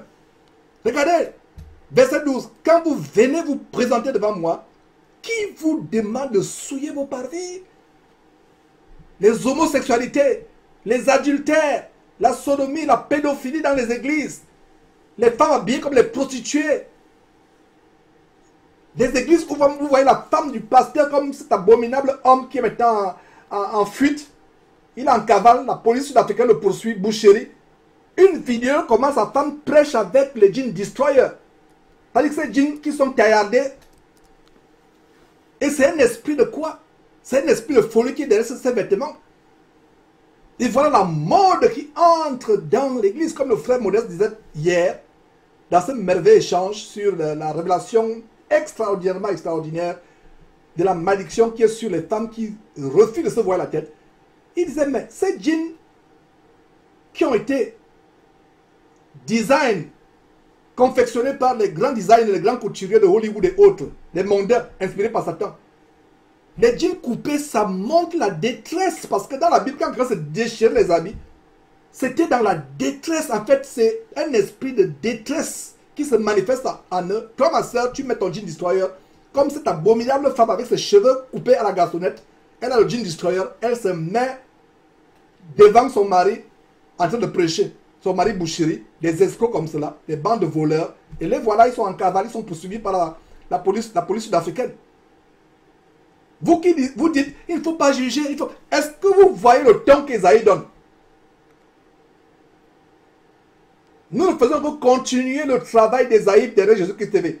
Esaïe n'était que nos précurseurs, nos dévanciers. Et c'est le même travail que nous, continuons. Et ma prière, c'est qu'il y ait toujours ce reste faible qu'on a vu tout à l'heure. Qui est ce reste faible, mes frères et sœurs, qu'on a vu tout à l'heure au verset 9 Ce reste faible, c'est ça ma prière. Que Georges ne soit pas le seul. Qu'il y ait des personnes qui se lèvent pour dénoncer l'abomination, non seulement dans ce monde, mais surtout dans les églises, entre guillemets, qui ne sont que des camps de concentration pour mener les gens en enfer, des salles d'attente pour l'enfer, des salles d'embarquement pour l'enfer, des maisons de joie, des bordels évangéliques, des morgues évangéliques, des morgues, des mouroirs évangéliques. Voilà qu'on dénonce ces choses. Des habitations de démons comme cela où toutes sortes d'abominations se passent. Ils font des choses terribles. Sortez Sortez de ces églises. Sortez, fuyez pour votre vie. Fuyez, fuyez, fuyez. Sors maintenant. Aujourd'hui, c'est samedi dans ta ville. Peut-être se fait tard. Nous à Houston, il est peut-être 14 heures, je n'ai pas la montre devant moi. Mais il se fait tard. Nous sommes aujourd'hui samedi soir. Demain, ne va plus. Ne va pas. Dieu s'adresse à toi, mon frère, ma soeur, en train de m'écouter. Dieu s'adresse à toi. Ne va pas demain. Ne va plus jamais dans ce temple. Et je rends grâce à Dieu, c'est que ma propre belle-sœur, ma propre belle-sœur, dans la ville de Bolova, a décidé finalement, ma belle-sœur, la bien-aimée belle-sœur, Anne-Marie, l'épouse de mon, de mon frère, l'épouse de mon frère Olivier, elle a décidé de quitter les camps de concentration définitivement.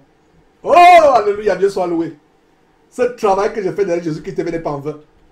Dieu a pitié de ma propre famille à moi. Voilà ma belle-sœur Anne-Marie dans la ville de Bolova. Elle a décidé de quitter les camps de concentration. Et comme son mari c'est un grand dans cette ville, je ferme la parenthèse.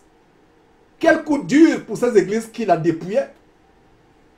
Et ils ne vont plus dépouiller ma belle-sœur Anne-Marie. Ils ne vont plus ruiner sa famille.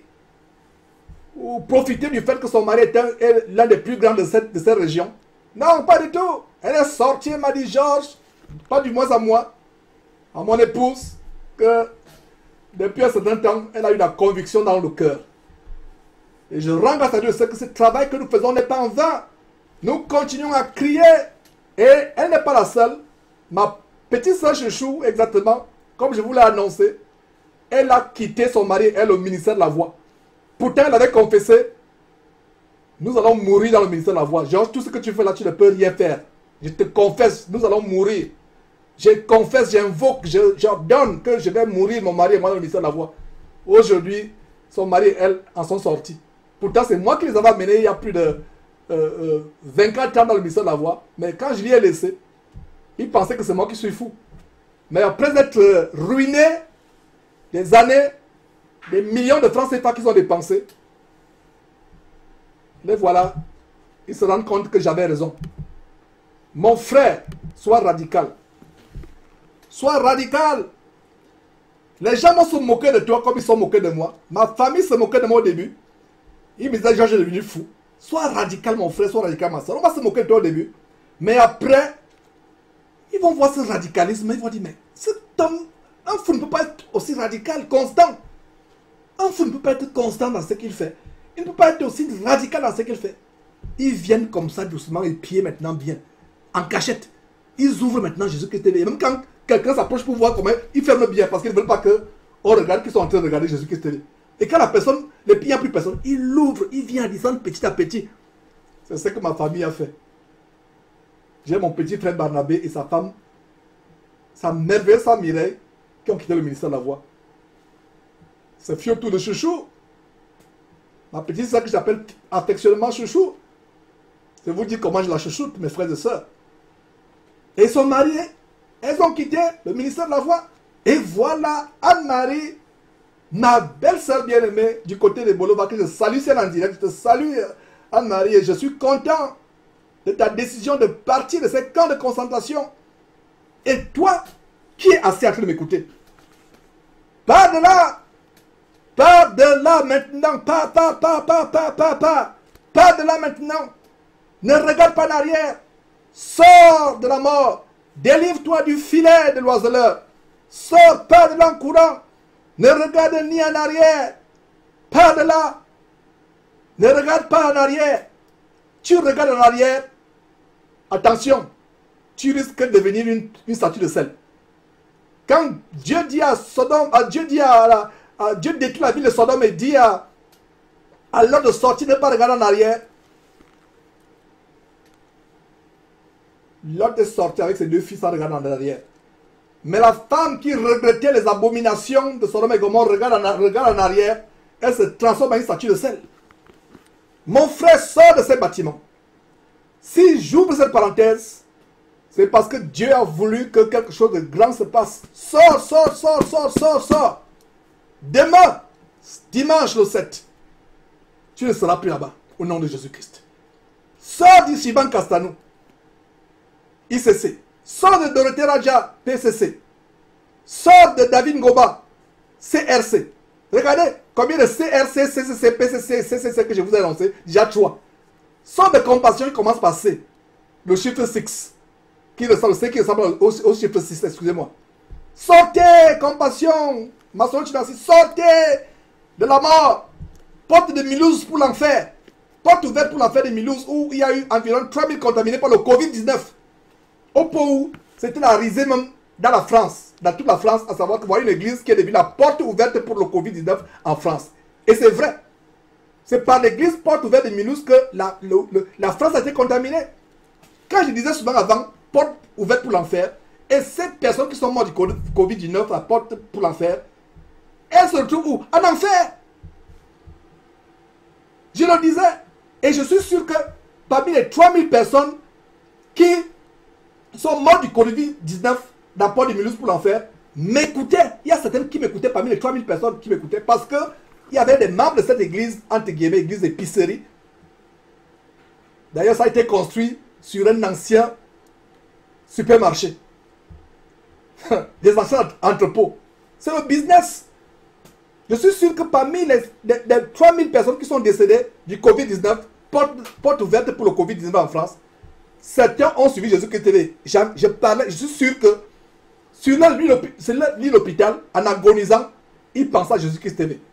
Et ma prière, c'est que certains ont pu se repentir avant de mourir du Covid-19. Environ 3000, du moins plus de 2500, ont été contaminés par le Covid-19. Eux-mêmes, ce n'est pas Georges qui fait la calomnie, vous qui m'accusez de calomniateur, mais c'est eux-mêmes qui ont fait le rapport. Et les autorités françaises ont eu un regard sur cette abomination. Donc, mes frères et sœurs, continuons la parole. Oui. Nous sommes en guerre. Et c'est là le but du livre d'Esaïe. Le livre d'Esaïe n'est pas là pour, pour augmenter votre connaissance. Commencer à vous flatter. Oh, je connais maintenant le livre d'Esaïe. Ah, je connais ces révélations. Non, c'est pour que tu changes. Pour que tu meurs, toi, ma soeur. Que tu meurs, toi, mon frère. Même si tu es attaqué dans l'église, dans l'assemblée où tu vis, c'est comme si de rien n'était. Même si on t'attaque, on t'accuse injustement, tu ne réagis pas. Tu pardonnes à ceux qui t'accusent. Qui qui Quelqu'un te fait du mal, tu ne rends pas par le mal. Tu rends te par le bien, même si c'est un frère en Christ dans la maisonnée.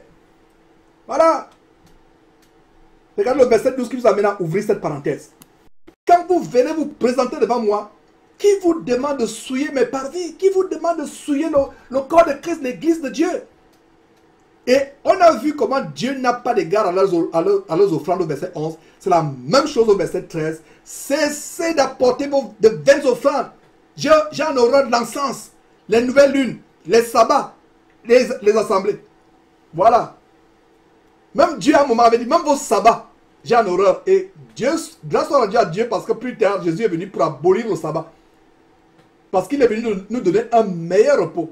Donc, à mes amis qui avaient des attaches euh, avec les aventis du septième jour, qui est toujours végétarien, ou qui observaient toujours le samedi comme étant le jour du repos, si vous observez le samedi le jour de repos, observez aussi l'année sabbatière. Une année de repos aussi. Parce que dans la loi, il y avait même une année qu'il fallait observer. Est-ce que vous voyez comment, à force de vouloir aveuglement suivre des ordonnances qui ont été abolies par Jésus-Christ, des chrétiens se mettent dans la servitude, dans la prison. Voilà. Cessez d'apporter des vaines offrandes. J'ai en horreur l'encens, les nouvelles lunes, les sabbats, les assemblées. Je ne puis voir le crime s'associer aux solennités. Regardez, souligner solennité. C'est pour ça que mes frères et sœurs, quand j'ai une réunion d'église, que ce soit physiquement, que ce soit par Zoom de manière virtuelle, d'abord l'église ne se tient pas de manière virtuelle, ce n'est que de manière temporaire. J'ai horreur qui est la confusion. Que les sœurs interrompent n'importe comment par des questions. Que les gens parlent n'importe comment. Qui est le désordre parce que quand on se réunit, voilà la révélation, c'est les solennités. C'est solennel. Vous n'êtes pas à une réunion de prière sur Zoom en même temps. Vous chattez avec les camarades, les amis ou les, les copines ou les copains. Vous êtes en train de, suivre une réunion sur Zoom avec les frères et sœurs. En même temps, vous suivez des vidéos, des documentaires sur euh, YouTube, sur Facebook. Georges n'est pas là pour vous voir. Les frères et sœurs ne sont pas là pour voir. Mais Dieu vous voit. Et vous devenez devant Dieu un objet de malédiction. Quand on s'assemble avec les frères et sœurs pour prier, regardez le verset, la fin du verset 13, soulignez ce verset. Le verset dit quoi? La solennité. C'est solennel. Et ce qui, ce qui est important dans ce verset 13, c'est que cessez d'apporter vos offrandes. Tes enveloppes ne te sauvent pas. Ton pasteur, ton pasteur faux pasteur en, passant, pasteur vampire escroc, il t'a menti depuis des années. Les enveloppes d'argent que tu donnes depuis des années là ne t'enlèvent pas le péché. S'il fallait payer l'argent pour qu'on ait le péché pardonné, personne sur terre ne serait pardonné. Même la famille Betancourt, la famille Rothschild, même la famille Trump n'arriverait pas à payer ne serait-ce que une gouttelette microscopique du sang de Jésus-Christ. Même tout l'argent de la terre ne peut pas payer les propriétés salvatrices, rédemptrices, purificatrices, ne serait-ce qu'une gouttelette invisible et microscopique du sang de Jésus-Christ. C'est pour ça qu'il a fallu que Dieu le rende gratuit. Les péchés nous sont pardonnés gratuitement.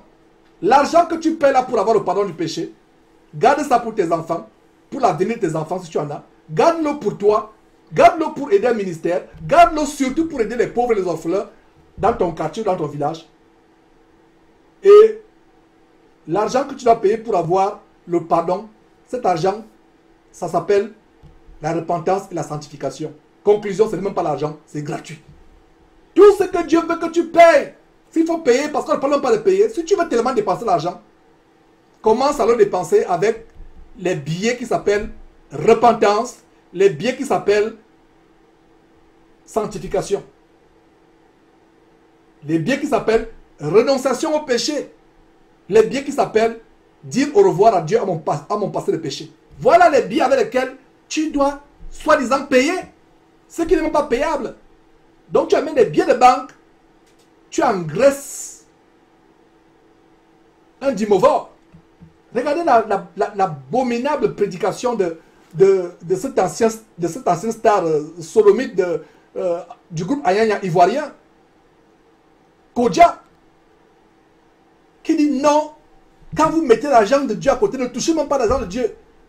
Même si vous avez votre loyer, même si vous avez des enfants malades qui ne mangent pas, ne, ne, faites rien pour eux. C'est quelle Bible? Même, si, même quand il s'agit de soulager un frère, la Bible ne dit-elle pas qu'il ne faut pas, il ne s'agit pas plutôt de t'exposer à la détresse pour soulager un frère? C'est pour ça qu'il dit souvent aux frères, mes frères et sœurs, pour vous qui contribuez à ce que l'évangile soit en Afrique, pour que les frères et sœurs nous reçoivent en direct, comme ils sont en train de recevoir actuellement en direct, ne contribuez pas, n'envoyez pas vos contributions si il n'y a pas suffisamment d'argent pour la propos des enfants. Si votre loyer n'est pas payé, envoyez maintenant si vous avez vos factures couvertes et si vous avez un surplus. Vous savez, votre superflu, votre surplus. Il ne s'agit pas de vous exposer à la détresse pour que les frères et sœurs en Afrique aient la télévision gratuite Jésus-Christ TV. Ou alors c'est moi qui lis mal la Bible. Ou alors c'est eux qui lisent bien la Bible. Mais vous savez, vous et moi, que ils n'ont aucune Bible à lire. Ils n'ont même jamais lu. Et même s'ils la lisent, ils la déchiquettent pour leur ventre euh, euh d'un bon point et pour leur euh, bas-ventre pervers. Au lieu de travailler leurs propres mains pour avoir l'abondance, ils veulent avoir l'abondance en escroquant avec la parole de Dieu. Mes frères et sœurs, c'est terrible. Donc, regarde le verset 11 et le verset qui mettent en garde contre ces offrandes qu'on donne, pensant qu'on aura la faveur de Dieu. Ma soeur, la faveur de Dieu s'obtient par la renonciation au péché, par la renonciation à l'insoumission, à la rébellion, commençant à te voir la tête. Voilà comment tu auras la faveur de Dieu et tu auras la grâce de Dieu dans ta famille, sur tes enfants, dans ton foyer, dans ton travail, dans tout ce que tu entreprends. Et c'est ainsi que tu auras la grâce. Sortez de ces choses. Ils vous entraînent en enfer. Ils vous escroquent. Ce sont des voleurs. Ce sont des bandits. Ils ne vous aiment pas. Ils veulent vous entraîner en enfer, mes frères et sœurs. C'est pour ça que je crie que sortez. Je vous ai énuméré quelques membres de ma famille qui ont commencé à sortir un à un. Le travail n'a pas été en vain depuis ces années. Depuis 2011. Ils sortent. Ils ont compris. Comprends aussi ma soeur, sors, ne parle plus, ne parle plus. Si cette vidéo est publiée, distribue cette, vidéo. Nous voulons une armée d'ouvriers bénévoles derrière Jésus-Christ TV qui coupe des petites parties de cette vidéo et qui envoie par, vers WhatsApp, qui envoie chaque jour. Il y a un petit extrait qui vous bénit dans une vidéo, coupé et distribué. La vérité, nous voulons une armée, un reste fidèle qui distribue la vérité vous suivez l'enseignement de 2 heures, 3 heures, il y a des petites parties de 1 minute, 2 minutes, 3 minutes qui vous ont béni, qui peuvent aider les autres, découper avec les ciseaux. Je vais dire euh, avec l'électronique. C'est vous, qui avez le logiciel. Et c'est même facile, même si vous n'avez pas le logiciel, allez sur internet, faites les recherches comment découper une vidéo. Vous n'avez même pas besoin d'être associé à vous et moi. Il y a des frères même qui ont commencé à le faire. Comme le frère Bertrand, il a commencé à le faire depuis longtemps, sans que je, je m'en rende compte même. Le, frère Bertrand de Belgique. Travaillons pour le Seigneur. Sortez de ces choses. Donc, regardez comment le livre d'Esaïe met à nu ceux qui veulent acheter Dieu. Vous pouvez acheter Dieu. Le pasteur vous dit donnez. Vous serez riche. Vous serez guéri. Vous serez délivré. Vous aurez un bel avenir. Dieu dit je hais. Je hais. À faire de l'amitié de vos sacrifices Verset 11. Verset 13. Cessez d'apporter de Regardez. Regardez le mot. De veine. Ça veut dire qu'aux yeux de Dieu, c'est la boue. C'est la puanteur de la porcherie. C'est la puanteur du WC. Comme les Camerounais disent WC. C'est la puanteur. Dieu n'y est pas dedans. C'est de vaines offrandes. Vaines, offrandes, mes frères et sœurs. À faire la multitude de vos, de vos sacrifices Verset 13. Cessez d'apporter de vaines offrandes. Pourquoi? J'ai en horreur l'encens, les nouvelles lunes, les sabbats, les assemblées. Je ne puis voir le crime s'associer aux solennités. Verset 14. Mon âme hait vos nouvelles lunes et vos fêtes. Vos fêtes les anniversaires, les célébrations de ceci, célébrations de cela, la fête de Noël, la fête de Pâques, la fête de la Saint-Valentin, dans les églises. Dieu dit qu'il hait vos fêtes. Soulignez, je hais vos nouvelles lunes et vos fêtes. Nouvelle lune, c'est l'anniversaire. La lune. Allez sur les émissions, nous montons les origines sataniques de l'anniversaire. Elles me sont en charge. Je ne puis, je suis là de les supporter. Verset 14, regarde la fin. Je suis là de les supporter. Voilà. Les sœurs en Christ vont me lapider quand je vais vous expliquer le verset 15. Mais s'il vous plaît, gardez vos pierres contre les démons, les péchés dans votre corps. Mais je vais expliquer ce verset 15. Verset 15. Quand vous étendez les mains, je détourne de vous mes yeux. Quand vous multipliez les prières, je n'écoute pas. Vos mains sont pleines de sang. Regardez, les mains sont pleines de quoi? De sang. Quand vous étendez vos mains, regardez cette femme-là. Elle prie, elle étend les mains. C'est les mains de quoi? C'est les mains de, Les mains des faux ongles. Elles étendent ses mains. Des, faux ongles comme ça, elles étendent les mains. C'est les mains des faux ongles. Comment tu peux aller dans un temple? Tu as les, faux ongles qui sont longs. Tu vois, c'est long comme cela. Comme une tigresse, tu étends dans les mains. Tu veux jouer la, piété. Tu étends quel culot? Comment peux-tu aller, ma soeur, souiller les parvis de Dieu? Tu étends les mains comme ça, tu étends les mains, tu souilles le, temple de Dieu. Tu souilles le temple de Dieu avec les, les, mains. Non. C'est pour ça que j'ai dit que le Seigneur devait me lancer les, pierres quand il devait arriver à, au verset 15. Mais garde tes pierres entre guillemets et lance-les spirituellement contre les démons de, de péché, de luxure, de frivolité, de bordellerie, de prostitution dans ta chair les mains remplies de, de, masturbation. Ma soeur, mon frère, tu t'es masturbé la, veille avec ces mains remplies de masturbation. Le lendemain, tu vas les lever. Ils prient quand les gens les voient, y compris les pasteurs. Comme si Charles Somba la veille va à l'hôtel avec une fillette de son église. Et à l'insu de sa famille, il y a la femme que j'ai veiller. Tu, tu, ne sais pas où j'irai, mais j'ai veiller. Et c'est quelqu'un qui vous a contacté de cette église, maintenant qui est en litige avec Charlie Sobo aujourd'hui. Le. L'attrapeur. C'est l'attrapeur qui a contacté Jésus qui TV. J'ai parlé avec lui. On a préparé l'émission, mais il a eu peur par la suite.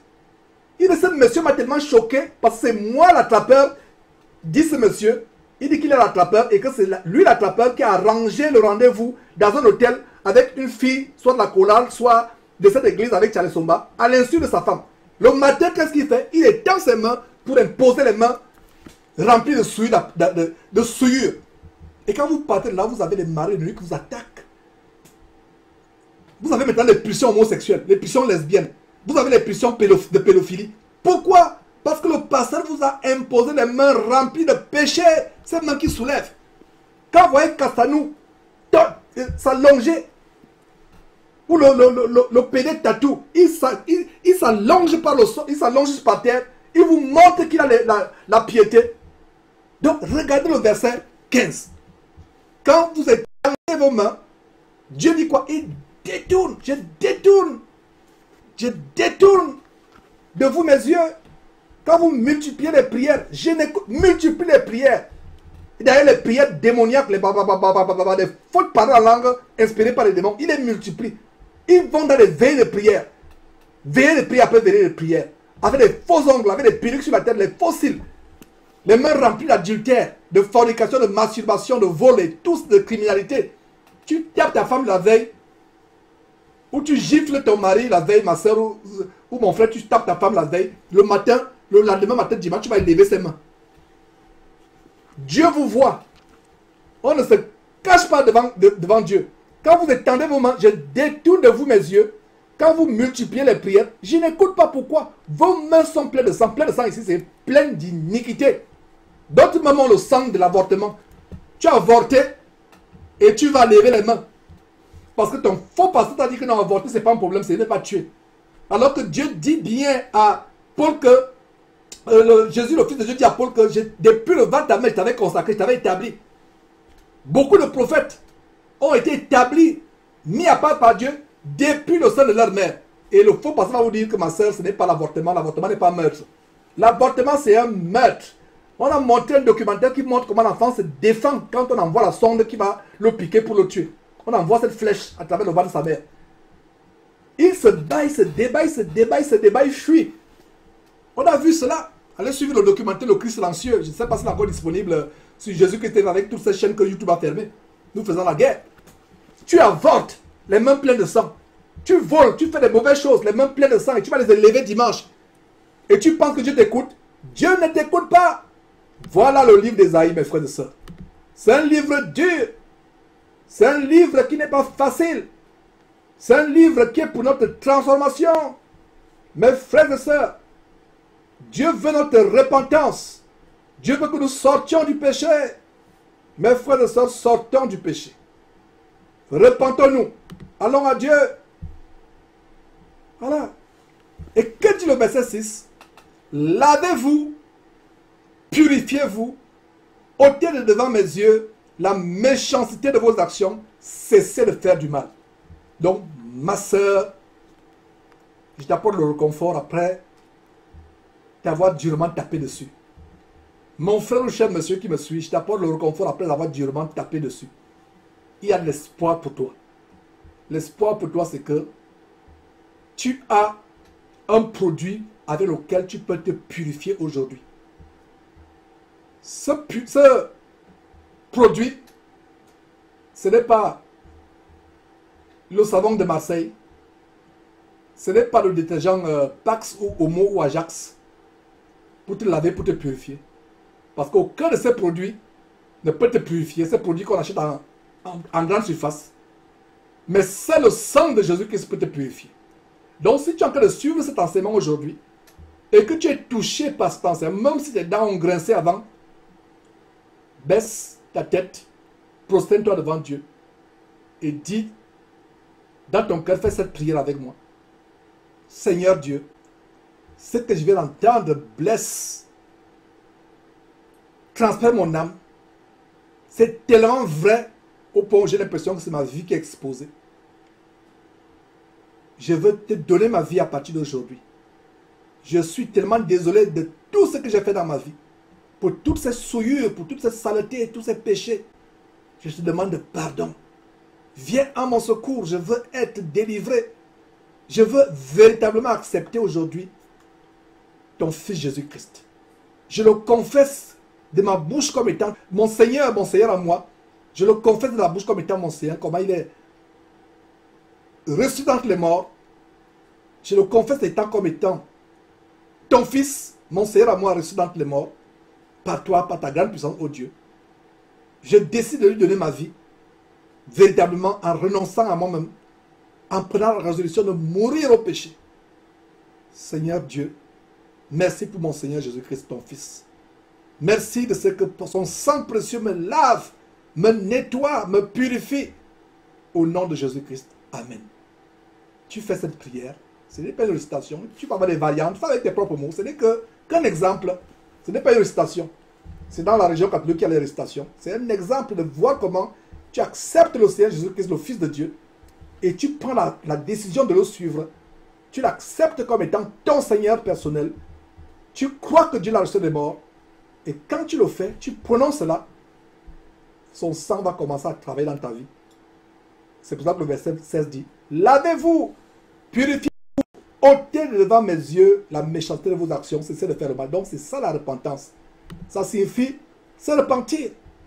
Ça signifie la repentance. Voilà comment on se repent. La repentance. Et le verset continue en disant, verset 18, le verset 17, apprenez à faire le bien, recherchez la justice, protégez le primé, faites droit à l'orphelin, défendez la veuve. Défendez la veuve. Quelqu'un qui craint Dieu, un vrai serviteur de Dieu, a pitié des orphelins. Il a pitié des personnes opprimées comme les étrangers.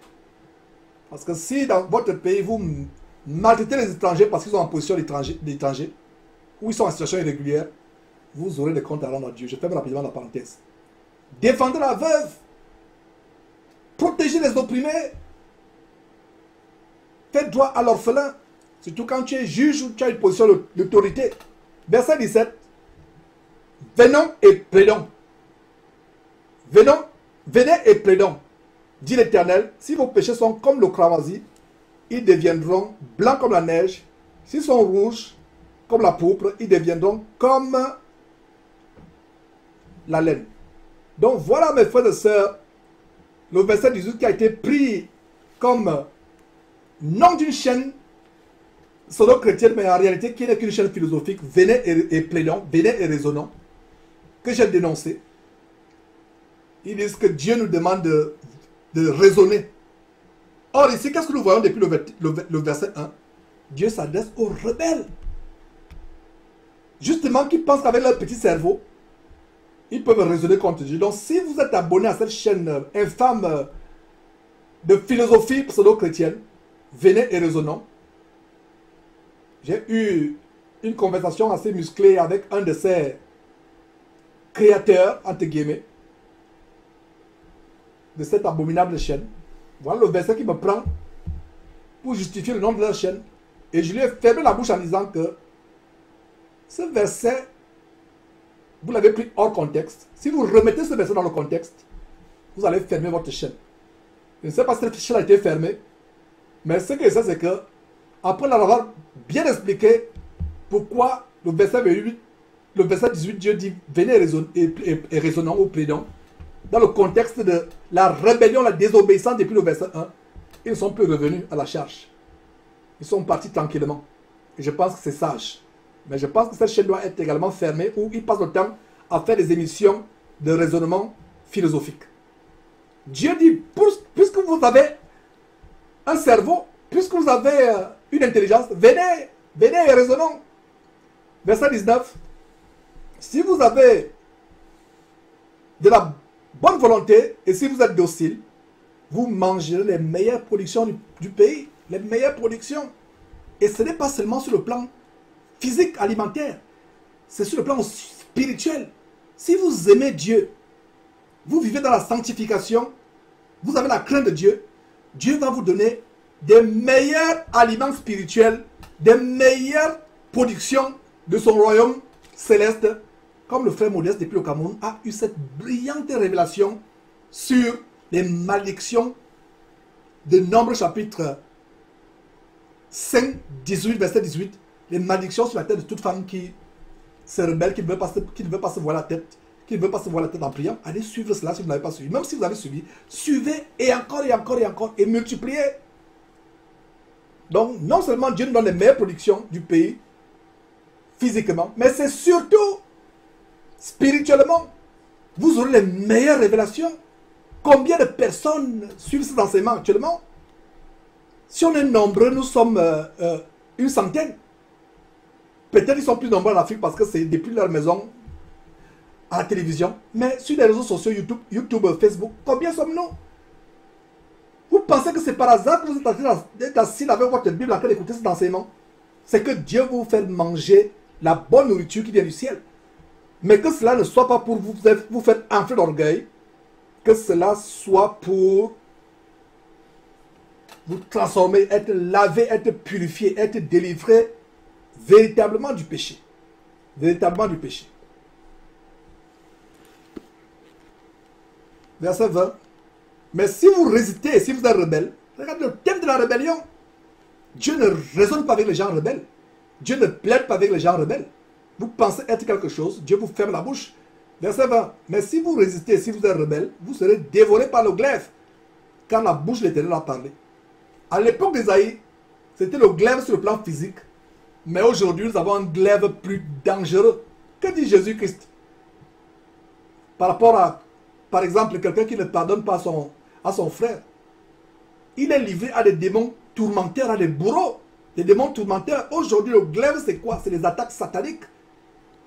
Les accidents, les morts prématurées, les maladies, les positions démoniaques. Voilà le glaive aujourd'hui.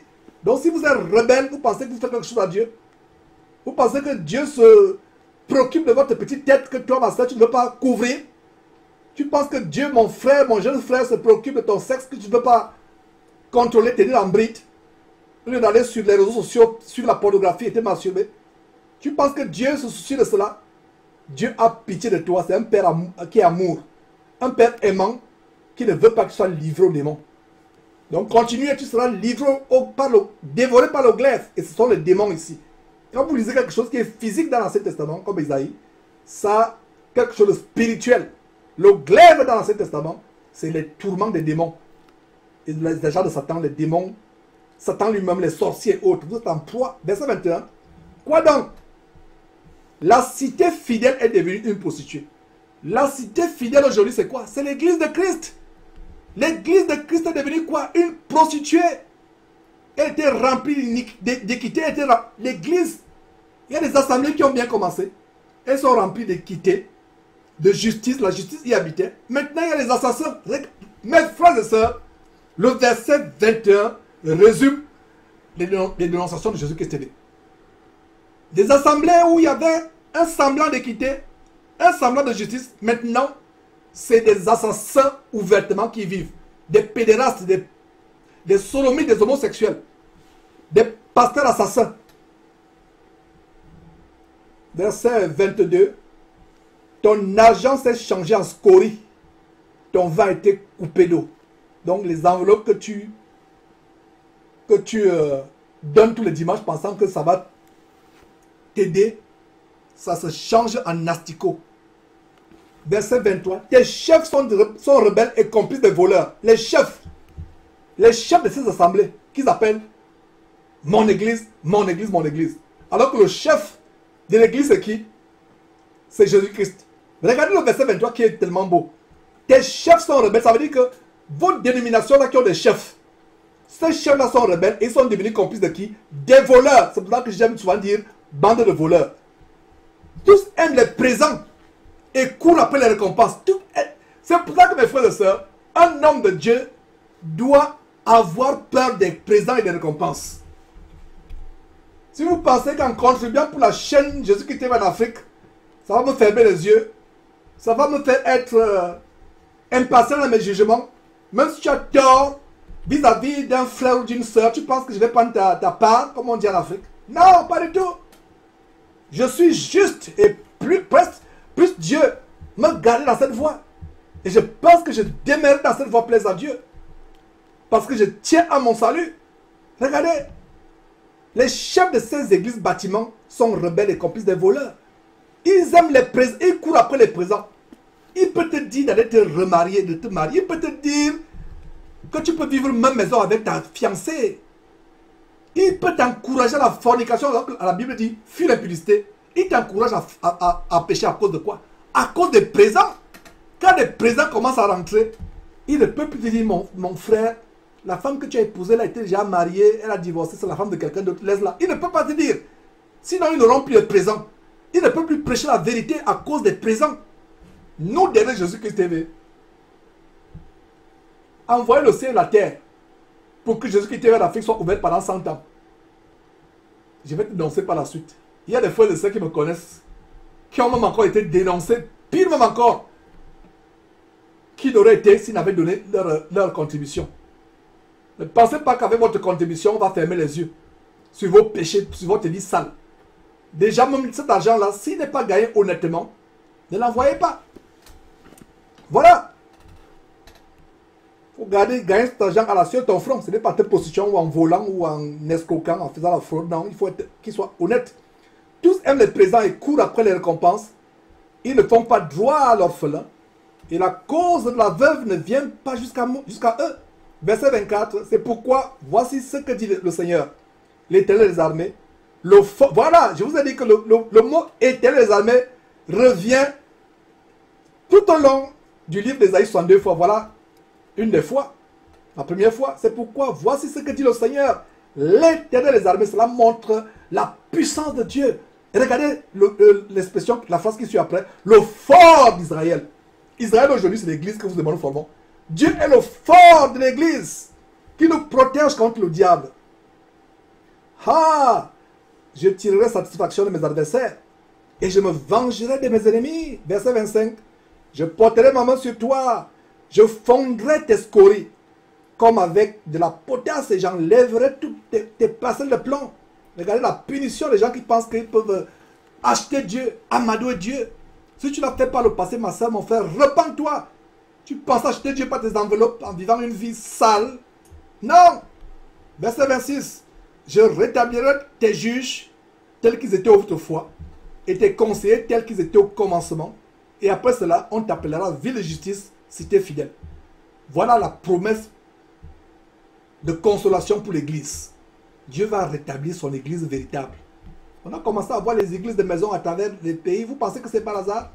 Dieu commence à rétablir son Église et il y aura des véritables bergers. Il y aura de véritables juges, de véritables conseillers. Et à nouveau, l'Église de Dieu s'appellera à nouveau ville de justice, cité fidèle. Quelle consolation, mes frères et sœurs. Verset 27. Si on sera sauvé par la droiture, voilà, la droiture, nous devons être droits comme Job. L'intégrité est la marque du chrétien, la droiture, la marque du chrétien, la crainte de Dieu, la marque du chrétien. Mon, donc Sion, Sion, c'est une image de l'église de Christ. Donc Sion sera sauvé par la droiture, et ceux qui se convertiront seront sauvés par la justice. Voilà, voilà mes frères et sœurs, l'espoir pour l'église de Christ est en train de se réaliser petit à petit. Mais, regardez le verset 28. Quand Dieu parle de bonnes choses, il parle de bonnes choses, il énumère, voici, je vais faire ceci de bien, je vais faire ceci. Mais quand il y a mais, commençons à trembler. Ah, mes frères et sœurs, commençons à trembler. Donc, lisons ce qui a pour le mais. Regardez comment il a promis, je vais faire ceci, je vais rétablir les juges. Je, je, on t'appellera ceci, tu seras cela de positif. Mais, regarde le verset 28. Mais la ruine atteindra tous les rebelles et les pécheurs. Et ceux qui font quoi? Qui abandonneront l'éternel. Donc, et ceux qui abandonnent l'éternel périront. La mort spirituelle et ensuite la mort euh, physique. Et enfin l'éternité pour l'éternité dans l'enfer, enfin.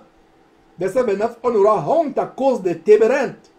Euh, pardon, térébentes, excusez-moi, on aura honte à cause des térébentes auxquelles vous prenez plaisir. Et le mot térébente, c'est une figure de l'idolâtrie. Et les idolâtries aujourd'hui dans le corps de Christ, ce n'est pas seulement les petits joujou ou les petits fétiches qu'on a, mais c'est aussi le péché. Les choses que nous mettons devant Dieu, ton travail peut devenir même euh, un joujou, une, idole, un fétiche. Et ceux qui abandonnent l'éternel périront. Donc, verset 29, on avait déjà lu verset 29, on aura honte à cause des térébintes auxquelles vous prenez plaisir. Et vous rougirez à cause des jardins dont vous faites vos délices. Vous avez de beaux jardins, de belles maisons. Vous en faites vos délices, mais la Bible dit quoi? Ces choses qui deviennent vos idoles, vous allez rougir. Vous allez regretter d'avoir eu ces belles maisons, ces beaux jardins. Verset 30. Car vous serez comme un térébinthe au feuillage flétri, comme un jardin qui n'a pas d'eau. Verset 31. L'homme fort sera comme de l'étoupe. Voilà, un homme qui a été fort, qui se vantait de sa force, il devient comme l'étoupe. C'est-à-dire un objet de flétrissure, de faiblesse extrême. Et son œuvre, son œuvre comme une étincelle. L'œuvre qui était comme ce grand fedon, il se, il, se vantait, il s'enorgueillissait. Ça devient comme une petite étincelle qui s'éteint. Ils brûleront l'un et l'autre ensemble et il n'y aura personne pour l'éteindre. Mais frères et sœurs, prenons une petite pause avant de terminer avec le chapitre 2, vous connaîtrez la vérité. La vérité vous affranchira.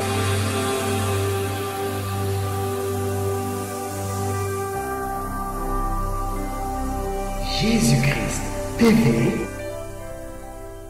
vous connaîtrez la vérité et la vérité vous affranchira. Nous allons poursuivre avec le chapitre 2, verset 1. La manière par laquelle euh, le prophète Isaïe introduit le chapitre 1, c'est exactement la même manière qu'il introduit le chapitre 2, exactement à peu près. Plus, ou moins exactement, mes frères et sœurs. Alors le verset 1 dit ceci. Prophétie d'Isaïe, fils d'Amoth, sur Judas et Jérusalem. Et je vous ai dit que le livre d'Isaïe avait 66 livres, tout comme la Bible a 66 livres. Les 39 premiers livres de la Bible, c'est l'Ancien Testament. Et curieusement, les 39 premiers chapitres d'Isaïe forment la première partie du livre d'Isaïe et c'est des prophéties au sujet de l'Ancien Testament. Tout comme les 27 livres du Nouveau Testament parlent de Jésus-Christ et de l'Église, la deuxième partie d'Isaïe, qui a aussi 27 livres, parle des prophéties au sujet de Jésus-Christ et de l'Église. Voilà une première prophétie au sujet des faits de l'Ancien Testament. Mais comme je vous l'ai dit à la première partie, chaque verset que nous lisons dans la Bible a quelque chose à adresser directement à l'Église de Christ que vous et moi nous sommes. Alors le verset nous dit ceci. Il arrivera dans la suite des temps que la montagne de la maison de l'Éternel sera fondée sur le sommet des montagnes, qu'elle s'élèvera par-dessus les collines et que toutes les nations y afflueront. Voilà. Le Seigneur Jésus nous montre comment l'Église, ses disciples, sont la lumière du monde, comme une lumière qu'on pose au sommet d'une montagne pour éclairer le monde entier. Et cette prophétie, d'ailleurs, a son accomplissement. Les nations affluent. J'ai montré une vidéo il y a quelques jours de la Bible qui a été reçue pour la toute première fois par les aborigènes, les indigènes de Papouasie-Guinée, les Papous. Les Papous ont reçu la Bible pour la toute première fois. Et voilà la prophétie qui s'accomplit. La montagne de la, que la montagne, la maison de l'éternel. Et la maison de l'éternel, c'est vous et moi. Elle est fondée sur le sommet des montagnes. Nous pouvons être, vous et moi, chrétiens, les balieux de la terre sur le plan matériel et physique. Nous pouvons être la risée du monde. Nous pouvons être les plus faibles, les plus petits de la terre.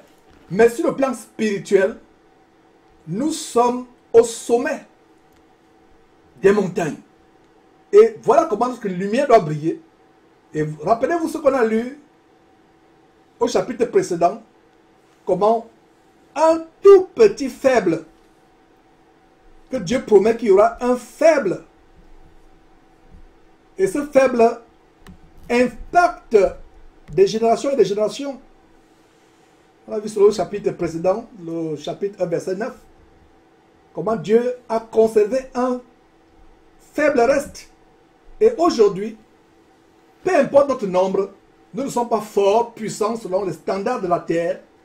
Nous ne sommes pas au sommet.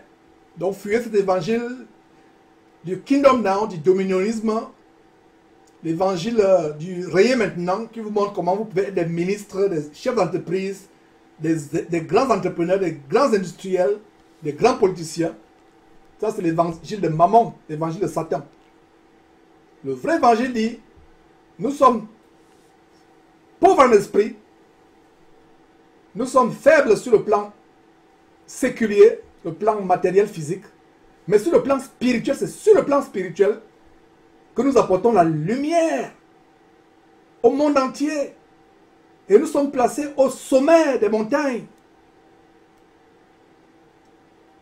notre piété, notre sanctification nous fait nous élever au-dessus des collines et les nations affluent.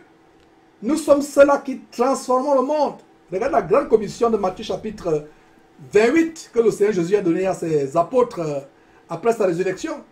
Allez et faites de toutes les nations mes disciples, les baptisant, les baptisant au nom du Père et du Fils du Saint-Esprit. Matthieu chapitre 28, verset 19. La grande commission. Comment faisons-nous de toutes les nations des disciples en étant dans ce monde, comme le Seigneur Jésus a dit, le sel de la terre. Nous sommes la lumière du monde. Nous sommes le sel, l'une des propriétés du sel. Je l'ai toujours expliqué. Non seulement c'est pour apporter la saveur à la nourriture. Si vous avez votre bon lait camerounais ou votre bon yéboué gabonais et il manque du sel, quelle que soit la dextérité culinaire que vous pouvez avoir, sans sel, il est sans saveur. Non seulement le sel apporte la saveur à la nourriture, mais le sel stoppe le pourrissement. À l'époque où il n'y avait pas encore de frigidaires, du système de réfrigération, des chambres froides, on conservait les poissons et les viandes pendant de longues années avec des techniques de salination, avec du sel. C'est pas par hasard que Jésus utilise les mots. Donc regardez le verset 2 qui donne la prophétie dans la suite des temps. Par notre piété, le fait que nous sommes la lumière à ce monde, nous serons au sommet des montagnes spirituellement pour éclairer la terre. Et nous serons aussi le sel. Le sel stoppe la pourriture, la putréfaction, la pestilence, le pourrissement. C'est ça la propriété du sel. Même quand on traite des blessures, que ce soit l'époque ancienne, on traitait avec le sel pour euh, éviter l'amputation, pour euh, éviter la gangrène, on mettait du sel. Et même en médecine actuelle, il y a des solutions avec du sel pour stopper la pourriture d'une gangrène. Donc le sel stoppe la pourriture. Donc voyez comment, mes frères et sœurs, nous chrétiens, nous sommes ceux-là qui devons apporter la lumière de Christ sur le sommet des montagnes. Nous devons stopper la pourriture. Et le verset 3 va s'accomplir en disant, des peuples s'y rendront en foule et diront, venez et montez à la montagne éternelle.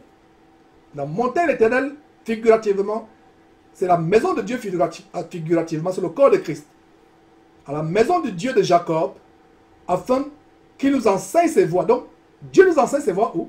Dans la vraie église, qui n'est pas faite de bâtiments, mais qui est faite des élus de Dieu, qui marchent dans l'intégrité, la droiture, dans la sanctification, qui ont la crainte de Dieu. Donc des peuples s'y rendront en foule et diront, venez, montons à la maison, à la montagne de l'Éternel, à la maison du Dieu de Jacob, afin qu'il nous enseigne ses voies. C'est dans l'église. Regardez ces réunions qu'on a payées après pays comment il y a des révélations tellement grandes. Et c'est Dieu vraiment qui m'a inspiré ces réunions parce que depuis qu'on a eu ces réunions pays après pays, on a des enseignements, on a des révélations, des témoignages, et cela nous fortifie. Donc c'est à la maison de Dieu, l'église, que nous recevons la nourriture, l'enseignement pour nous transformer. Mais dans ces bâtiments infâmes, camps de concentration entraînant en enfer, à la mort, des morgues évangéliques, il vous enseigne quoi? La perdition, l'amour du monde. Voyez, afin qu'il nous enseigne ses voies, afin que Dieu, le Dieu de Jacob, l'Éternel nous enseigne ses voies et que nous marchions dans ses sentiers. Marcher dans les sentiers de Dieu, c'est suivre sa parole, suivre ses commandements, être soumis à sa parole, ne pas se rébeller, et que nous marchions dans ces sentiers, car de Sion sortira la loi, et de Jérusalem la parole de l'Éternel. Donc quand vous lisez Sion et la parole de euh, Jérusalem, d'où sortira la parole, euh, d'où sortira, excusez-moi, la parole, d'où sortira la parole, c'est, ça fait référence à l'Église aujourd'hui. Verset 4, il sera le juge des nations. Regardez comment, de manière prophétique, Esaïe est en train d'anticiper déjà le grand jugement. Dieu jugera les nations. L'arbitre, l'arbitre d'un grand nombre de peuples. De leur glaive, ils forgeront des, des oyaux et de leur lance des cèpes. Une nation ne tirera plus l'épée contre une autre nation et on n'apprendra plus la guerre. Voilà les temps de paix. que Dieu nous promet avec le retour de Jésus-Christ. Verset 5. Maison de Jacob, venez et marchons à la lumière de l'éternel. La maison de Jacob pour vous chrétiens, vous et moi chrétiens aujourd'hui, c'est quoi? C'est le corps de Christ. Maison de Jacob. Aujourd'hui, on va lire corps de Christ, église de Jésus-Christ. Venez et marchons à la lumière de l'éternel. Ne marchons plus dans les ténèbres. Venons et marchons dans la lumière, à la lumière de l'éternel. Étant guidés par la lumière, nous ne devons plus marcher dans les ténèbres, dans les convoitises de la chair, l'amour du monde, nos péchés. Marchons à la lumière, comme Dieu lui-même est lumière. Si nous marchons à sa lumière en mettant en pratique sa parole, nous sommes en communion avec lui et c'est pour cela que nous sommes appelés les enfants de lumière. Verset 6. Car tu as abandonné ton peuple, la maison de Jacob, parce qu'ils sont pleins d'Orient. Et a donné à la magie, comme les Philistins, et parce qu'ils s'allient aux fils des étrangers. Le pays est rempli d'argent et d'or. Avant de continuer au verset 7, regardez la grande révélation au verset 6. Mes frères et sœurs, si vous ne comprenez pas à, quel point le verset 6 s'applique à l'église d'aujourd'hui, entre guillemets, mais pas la vraie église, lisez attentivement ce verset pour bien comprendre verset 6. Dieu a abandonné son peuple et beaucoup d'églises. Jésus-Christ n'y est même plus. Jésus-Christ ne peut même pas s'approcher de serait-ce qu'à un milliard de kilomètres de ces églises-là. Il ne peut pas. Parce que ces églises puent, dégagent la puanteur spirituelle et même physique, avec les abominations qui s'y passent. Mais regardez le, le bout du verset, souligné parce qu'ils sont pleins d'Orient. Et qu'il est adonné à la magie, comme les Philistins. Voilà la révélation de comment la franc-maçonnerie et la cabale que les Juifs ont apprise pendant 400 ans en Égypte. Voilà La franc-maçonnerie est d'origine égyptienne. Ça vient de l'Orient. L'Orient, quand on parle de, de l'Orient, l'Orient c'est le symbole biblique de la magie qui, tire ses origines de l'Égypte. L'Orient, la magie, la cabale juive, la franc-maçonnerie, l'Orient c'est là où le soleil se, se lève. Le soleil se lève à l'Orient, l'Orient c'est l'Est où le soleil se lève. Et voilà la raison pour laquelle les serviteurs de Dieu, quand ils priaient, ils devaient avoir le dos tourné comme le soleil. Afin de ne pas avoir face, faire face au soleil. Regardez un peu cette dessin qu'il y a sur Internet, des publications évangéliques, des images, des photos où vous avez les gens en train d'adorer. C'est des publications évangéliques. Vous voyez la photo de quelqu'un à l'aurore, au coucher du soleil, il a les mains levées vers le soleil. Et même moi, votre frère, c'est des photos qu'on a utilisées inconsciemment au début de Jésus-Christ TV. Quand il y a un cantique qui passe, on illustre avec un homme qui prie sur une montagne, il est face au soleil. Plus tard, le Saint-Esprit m'a fait comprendre une chose. Même quand le temple de Jérusalem est construit, même le tabernacle, on a vu l'étude approfondie d'Exode, allez encore suivre ces choses. La position du tabernacle ou du temple, du moins, selon que le sacrificateur devait se positionner, il devait avoir le dos tourné à l'Orient, au soleil, afin de ne pas être tenté à se prosterner maintenant devant le soleil. Donc vous qui avez ces cartes, ces images, vous voyez une femme le matin se priant les mains levées, vous voyez quelqu'un qui est dans la, position de, détresse en train de prier à genoux, mais il y a le soleil. C'est des images subliminales pour adorer le soleil. Je l'ai appris. Donc nous, nous tous les jours. Je l'ai appris. Dans ces cartes que vous voyez sur Internet, on met même des versets bibliques. Un homme qui a les mains levées. Vous pensez que c'est la piété. Mais en fait, c'est le soleil. Donc regardez comment le verset se dit, ils sont pleins d'Orient. La magie, la cabale, regardez comment la franc-maçonnerie, la bande à Castanou, à maçonnerie dynastie Karambiri, ils sont pleins de l'Orient, pleins de l'Orient. Mes frères et sœurs, ils sont pleins de l'Orient. Fuyez ces gens. Ils ne connaissent, fuyez ces, ces faux pasteurs.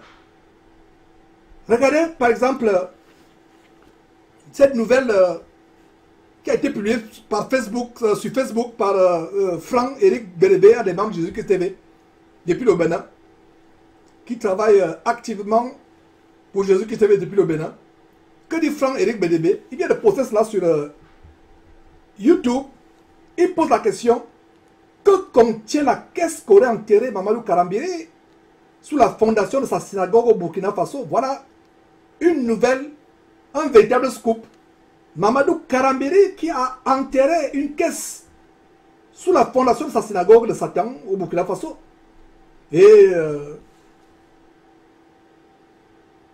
Franck Bédébé qui vient de poster cette alerte sur euh, Facebook il y a environ deux heures révèle ceci. L'information nous est parvenue par l'un des compatriotes de Mamadou Philippe Karambiri à la question de savoir ce que contient la caisse qu'il a enterrée sous la fondation de son église euh, abominable qui n'est qu'une une, synagogue de Satan habitation démon, il aurait répondu que c'est une Bible qu'il a enterrée. La dite Bible serait destinée à qui? Au défunt ou à quelqu'un, un Dieu souterrain Vous avez la réponse que la Bible est destinée à un Dieu souterrain. Lui-même, il répond. Il répond que la caisse, c'est une Bible. Il a été la Bible. Quand nous dénonçons ces choses, vous dites, vous qu'on on, on, exagère. Donc, Mamadou Karambidi qui enterre une Bible sous sa synagogue. Pourquoi enterrer Regardez ma Bible. J'ai maintenant, sur le studio de Jésus-Christ TV, je creuse, j'enterre. Et vous apprenez que je l'ai fait.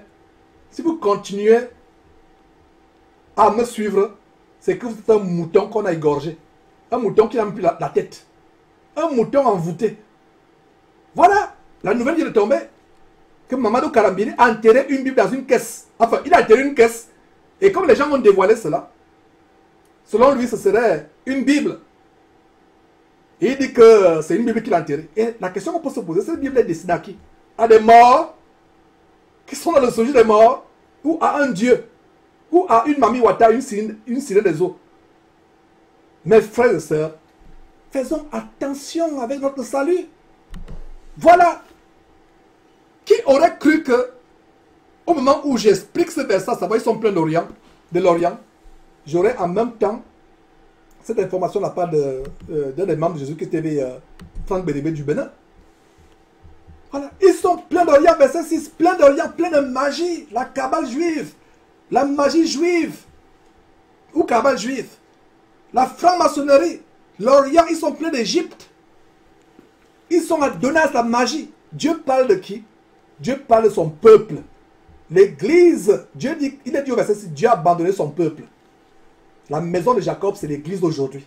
Israël, céleste, spirituel. Alors pourquoi Dieu les a abandonnés? Le verset 6 dit quoi? Parce qu'ils sont pleins d'Orient. Donc toi, qui es chez Mamadou Karambiri, qui a enterré une caisse Mamadou Karabi qui a enterré une caisse. Si après avoir écouté ceci, tu ne parles pas de là. Ça veut dire que toi-même, je ne sais pas. Tu n'es même plus un homme, tu es mort vivant. Ma sœur, si tu ne parles pas de là, tu es morte vivante. Ils sont adonnés à la magie comme les Philistins. Et parce qu'ils s'allient, ils s'associent aux fils des étrangers. Les pasteurs qui s'associent avec les francs, avec les francs-maçons. Les pasteurs qui s'associent avec des fils étrangers. Les fils étrangers, c'est qui? Ceux qui adorent le diable. Voyez, quand la Bible parle des fils étrangers sur le plan spirituel, au verset 6, c'est ceux qui adorent le diable. Donc, ils s'associent, ils s'allient, ils font alliance avec des fils étrangers, avec les gens qui sont dans la franc-maçonnerie, les Moïse Mbié, euh, tous ces euh, chantes du Congo, la plupart, euh, pas la plupart, presque, ils sont dans la franc-maçonnerie, dans la, magie, la rose-croix, ils vont s'associer aux prêtres vaudous, ils s'associent aux gens qui ont un, dieu, un autre Dieu que le nôtre. En fait, c'est Satan qu'ils ont comme père. Donc voilà comment les pasteurs s'associent. Et Dieu dit quoi? Il a abandonné ces églises-là. Donc quand vous y allez, Dieu n'y est pas. Et vous voyez pourquoi au chapitre 1, je dis, sortez, sortez, sortez, sortez de ces églises. Sortez. Le pays est rempli d'or et d'argent. Ils sont riches. Ils sont riches. Ils ont de l'argent, ils ont de l'or. Ils ont des comptes bancaires. Ils peuvent se construire des châteaux. Ils peuvent se construire n'importe quoi. Ils sont riches. Le pays est rempli d'or et euh, d'argent et d'or. Verset 7 il y a des trésors sans fin. Le pays est rempli de chevaux. Il y a des chats sans nombre. Le pays est rempli, et non seulement le pays est rempli de ces choses, regardez verset 8, le pays est aussi rempli d'idoles. Ils se prosternent devant l'ouvrage de leurs mains, devant ce que leurs doigts ont fabriqué. Regardez, la, la prosternation vous a monté une vidéo. Vous qui êtes en Afrique, cette vidéo est passée encore et encore et encore. La vidéo de comment une chaise magnétisée, vide, le passant n'est même pas derrière cette chaise, mais les, les ouailles envoûtées défilent pour venir se prosterner devant cette chaise. Et vous avez visiblement certains sont en, en transe, ils maîtrisent, ils, ils, ils, maîtrisent, on appelle à maîtriser, à maîtriser, à contrôler cette transe. Ces fauteuils qu'ils ont, dans ce temple, il y a même, revenons avec ce Mamadou Karambiri, selon les témoignages des uns et des autres, il y a une, un fauteuil. Il ne s'assoit pas sur ce fauteuil, personne ne touche ce fauteuil, ne s'assoit sur ce fauteuil quand il n'est pas là. Rien que le fauteuil. Et qui est sur ce fauteuil? Comme euh, cette église abominable où les gens défilent. Un fauteuil, le fauteuil du pasteur est vide, ils viennent, ils se posent, ils touchent. Après, ils font un signe. Ils touchent, ils font un signe. Ça, c'est le trône de la Mami Wata, le trône de la sirène des eaux, le trône de la divinité satanique qui les a menés à ouvrir ces abominations qu'ils appellent l'église. Voilà exactement le, siège de Mamadou Karambiri où personne ne s'assoit. S'il va en voyage, en mission, les missions de, de, vampirisme à travers le monde, personne ne s'assoit, personne ne touche. Des véritables criminels. Ils sont pleins de magie. Non seulement ces églises ont de l'argent, de l'or, du char, de, chevaux, mais il y a des, idolâtries. Ils se prosternent devant l'ouvrage de leurs mains, devant ce que leurs doigts ont fabriqué. Continuons au verset, au verset 9. Les petits seront abattus et les grands seront abaissés. Tu ne leur pardonneras point. Et Esaïe anticipe ce que le Seigneur Jésus nous donnait plus tard, à savoir le péché impardonnable tout blasphème sera, tout péché, tout péché sera pardonné, excusez-moi, tout péché sera pardonné. Mais le blasphème contre le Saint-Esprit ne sera pas pardonné. Regardez dans le verset 9. C'est pour ça que le livre d'Esaïe, mes frères et sœurs, c'est comme si on lisait le Nouveau Testament. Et d'ailleurs, vous vous en êtes déjà rendu compte. Vous vous en êtes déjà rendu compte. Donc, verset 9, les petits seront abattus et les grands seront abaissés. Tu ne leur pardonneras point. Il n'est pas dit tu ne leur pardonneras pas. Il y a une différence entre pas et point. Tu ne leur pardonneras pas. Ça veut dire que Dieu ne va pas leur pardonner parce qu'ils ont franchi le cap de faire la magie et d'introduire la magie dans les églises, avec la cabale juive, avec la franc-maçonnerie, avec le vaudou. Dieu ne va pas les pardonner. Et comme justement Charles Passot, il a une chaise rouge et les gens ont reçu des révélations des personnes qui ne se connaissent pas. Chacun reçoit la révélation, à savoir que le fauteuil, le fauteuil rouge de Charles Passot cet abominable dimovore pasteur vampire camerounais euh, au Bénin, il y a une sirène qui est assise là-dessus. Vous ne la voyez pas physiquement, mais elle est là. Elle envoûte beaucoup de personnes. Et elle donne, elle distribue des bébés monstres à gauche, à droite. Les bébés auto, auto, mais c'est des monstres. Et l'Éternel dit quoi? Tu ne leur pardonneras point. Verset 10. Ancre dans les rochers et cache-toi dans la poussière pour éviter la terreur de l'éternel et l'éclat de sa, de, sa majesté. Regardez. Le verset 10. Ancre dans les rochers et cache-toi dans la poussière. Et nous allons voir plus tard que le fait qu'ils entrent dans les rochers, ça ne peut pas les empêcher de connaître la terreur de l'éternel. Et comme nous allons voir par la suite, regardez comment Esaïe des milliers d'années avant, je vais dire des centaines d'années avant, plusieurs centaines d'années avant, révèle ce que Jean reçoit comme vision dans Apocalypse chapitre 6, verset 15. On va voir ça tout à l'heure. Mais sommes déjà Apocalypse chapitre 6, verset 15. Vous voyez comment Esaïe a vu textuellement a reçu textuellement les mêmes révélations que Marc, Matthieu, Marc, Luc, Jean, l'apôtre Paul, etc. C'est pour ça que je vous dis, voilà, il y a des gens qui disaient, mais Georges, pourquoi je dis que le, le, Esaïe peut être considéré comme le cinquième évangile? Voilà l'évangile de manière prophétique qui annonçait déjà les choses qui devaient se passer au temps de Jésus-Christ, après Jésus-Christ. Et c'est confirmé, mes frères et sœurs. Verset 10. Ancre dans les rochers et cache dans la poussière pour éviter la terreur de l'éternel et l'éclair de sa majesté. Regardez, on s'amuse avec Dieu. Quand la terreur va s'abattre sur le monde, parce qu'on se moque de Dieu aujourd'hui, on peut insulter Dieu, on peut prononcer le, Dieu, nom de Dieu en vain, mais quand la terreur de l'éternel va s'éclater, quand l'éclat de sa majesté va se manifester, ce sera terrible. Verset 11. L'homme au regard hautain sera baissé, et l'orgueilleux sera humilié. L'éternel sera élevé ce jour-là. La Bible dit, l'humilité précède l'élévation, la gloire au ciel plus tard, mais l'orgueil précède la chute. Regardez cet homme, euh, je vous ai raconté l'histoire, vous allez me fatiguer de m'entendre raconter cette histoire. Le père spirituel de Castano qui est mort dans son avion, dans sa maison volante, son avion qui, a, euh, qui s'est écrasé au large du Bahamas. Il était tellement hautain. Il est même parti en France se moquer de moi publiquement. Il dit, ce monsieur qui, attaque Ivan Castano, mon, mon fils spirituel, il n'a qu'à venir en France, qu'il voit comment devenir riche, devenir important. Le regard hautain. Quelques semaines après, cette moquerie publique, son avion s'est écrasé en fin, euh, en fin 2014 au large du Bahamas, alors qu'il était en direction d'un séminaire payant à 350 dollars, 350 dollars l'entrée par personne. Le salaire annuel de plusieurs personnes, même plusieurs personnes en Afrique n'ont pas le, salaire annuel de 375 euros. Donc lui, il paie l'entrée d'un séminaire abominable, soi-disant évangélique. Il paie l'entrée, une personne à 375 euh, euh, dollars, pas euros, excusez-moi, dollars. Et en allant, son avion s'est écrasé. Cela se manifeste. Je donne cet exemple pour vous dire que s'il y a un faux pasteur qui m'écoute là, si ça peut aider à mettre la crainte de Dieu dans son cœur et à fermer son épicerie évangélique, à revenir à Dieu véritablement, voilà pourquoi je répète encore et encore et encore ces choses que je donne comme témoignage, comme exemple dans les enseignements.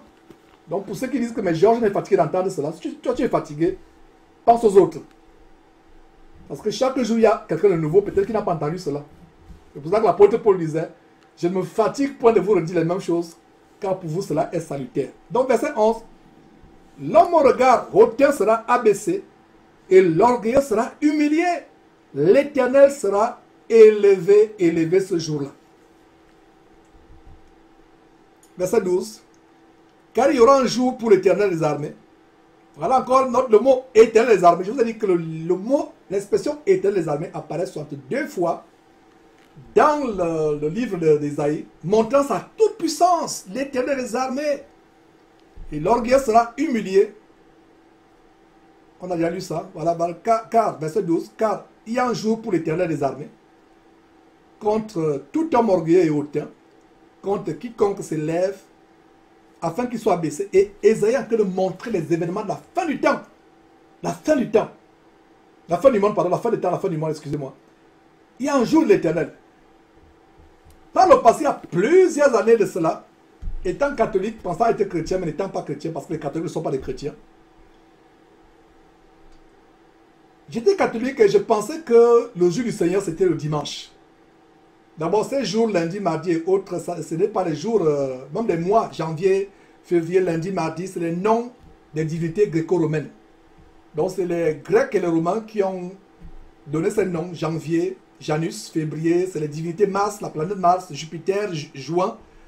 Euh, dimanche, par exemple, en anglais, Sunday, c'est le jour, du, le jour du, soleil.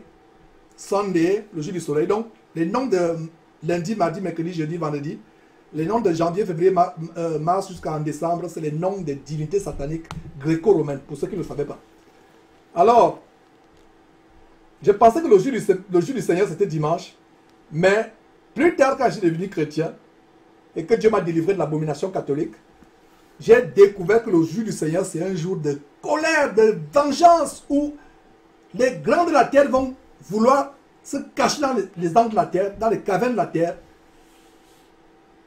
Ils ne pourront pas échapper à la colère de Dieu. C'est ça le jour, un jour terrifiant. D'ailleurs, Isaïe en parle plus tard. On va voir comment Isaïe annonce le Seigneur Jésus-Christ bientôt. Dans, quand il dit bientôt, je dis dans quelques semaines, plaise à Dieu. Peu importe le temps que ça va nous mettre, si par sa grâce, je suis toujours en vie, ou si le Seigneur Jésus-Christ ne revient toujours pas en temps. Verset 12. Car il y a un jour pour l'éternel des armées contre tout homme orgueilleux. On avait déjà lu ça. Et relisons contre tout homme orgueilleux et hautain, contre quiconque se lève afin qu'il soit abaissé. Verset 13. Contre les cèdres du Liban. Donc, voilà les exemples d'élévation. Donc, ce qu'on va lire au verset, euh, du verset 13 au verset 16, c'est les symboles, c'est l'illustration, c'est les figures de, pour bien mettre l'emphase sur la grandeur. Regardez les cèdres du Liban. Regardez, l'un des arbres les plus précieux, que ce soit au temps de, de, Jésus, que ce soit au temps d'Ésaïe, l'un des les bois les plus précieux à l'époque, c'était le cèdre. C'était un bois qui un arbre qui s'élevait haut. Et quand vous voyez cet arbre, il, dégageait la fierté dans le monde euh, végétal. Il dégageait la fierté. Donc, le verset 13 commence à, mettre, à donner les illustrations de ces gens qui sont orgueilleux, qui s'élèvent. Donc, regardez contre les cèdres du Liban, haut et élevé, Dieu a horreur l'élévation. C'est pour ça que l'évangile diabolique de l'élévation personnelle, du leadership, l'élévation, oh frère, oh sœur, fuis cet évangile. Sors, sors, sors de ce temple. Sors de cette domination. L'évangile du leadership. Le seul leadership que Jésus nous enseigne, c'est que si quelqu'un veut être grand plus tard dans le royaume de Dieu, qu'ici sur terre, il soit la serpillère et le marchepied de ses frères et sœurs.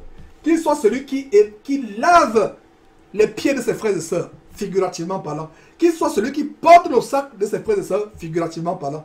Qu'il soit figurativement parlant la serpillère et l'essuie-tout de ses frères et sœurs dans l'église. Tu peux te lever parce que l'évangile du leadership et de l'élévation personnelle, c'est en fait la franc-maçonnerie la cabale juive qui enseigne aux gens comment s'élever pour se mettre au sommet de la pyramide de la franc-maçonnerie ou de la cabale juive. Voilà, mes frères et sœurs. Donc, il se lève, Dieu à hauteur de cela, verset 13, contre tous les cèdres du Liban, haut et élevé, et contre tous les chaînes de Bazan. Verset 14, contre toutes les hautes montagnes, vous voyez, les symboles hautes montagnes, le symbole élévation, contre les collines élevées, l'élévation, dans la tête et même figurativement euh, euh, et même littéralement, physiquement. Verset 15, euh, contre les retours, contre les murailles fortifiées. Tout ça du verset 13 au verset 16, c'est le symbole de l'élévation, de, la grandeur, de la vantardise de l'homme qui pense qu'il a quelque chose, s'élève contre Dieu. Et qui est derrière C'est Satan qui a voulu s'élever. Je, je ferai ceci, je monterai jusqu'au ciel, jusqu'à m'asseoir sur le trône de Dieu, je ferai ceci, je serai semblable. Allez lire Ézéchiel chapitre 28, jusqu'à ce qu'il soit lamentablement jeté sur terre. Et il n'a plus possibilité de repartir au ciel. C'est pour ça qu'il fait tout pour empêcher que vous et moi nous allions au ciel parce qu'il sait comment le ciel est beau. Verset 16. Contre tous les navires de Tarzi, regarde le navire de Tarzi, la somptuosité, comme le Titanic, qui a été bâti le premier navire de croisière transatlantique de, cette, de, cette, de ce gabarit. Voilà. Je prends l'exemple du Titanic pour vous montrer à comment les navires de tertiaire à l'époque des pouvaient être un objet de fierté. Et en passant, c'est qui, ceux qui ont construit, l'ingénieur en chef qui dirigeait les travaux de construction du Titanic, a dit, même Dieu ne peut pas couler ce, navire, le Titanic. Et beaucoup parmi vous ont suivi par exemple le film Titanic ou les documentaires sur le Titanic. Donc l'ingénieur en chef, celui qui dirigeait la construction de ce, de ce bateau, pendant des années a dit, même Dieu ne peut pas le détruire.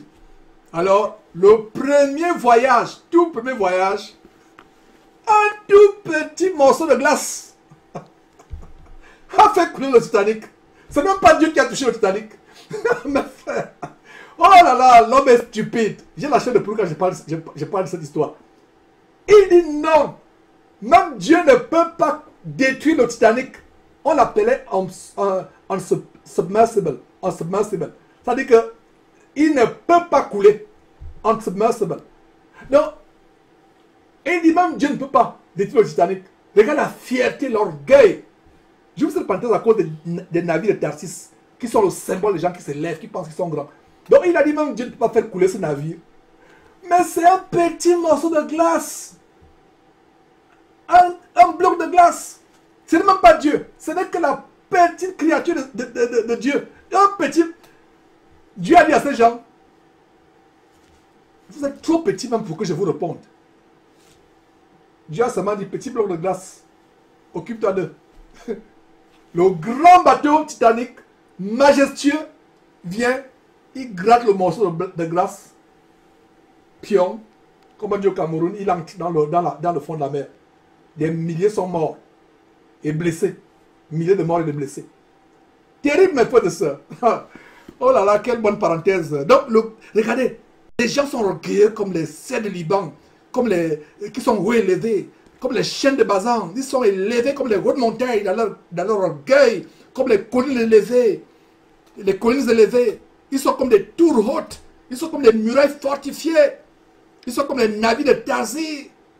De Tarsis, pardon, de Tarsis,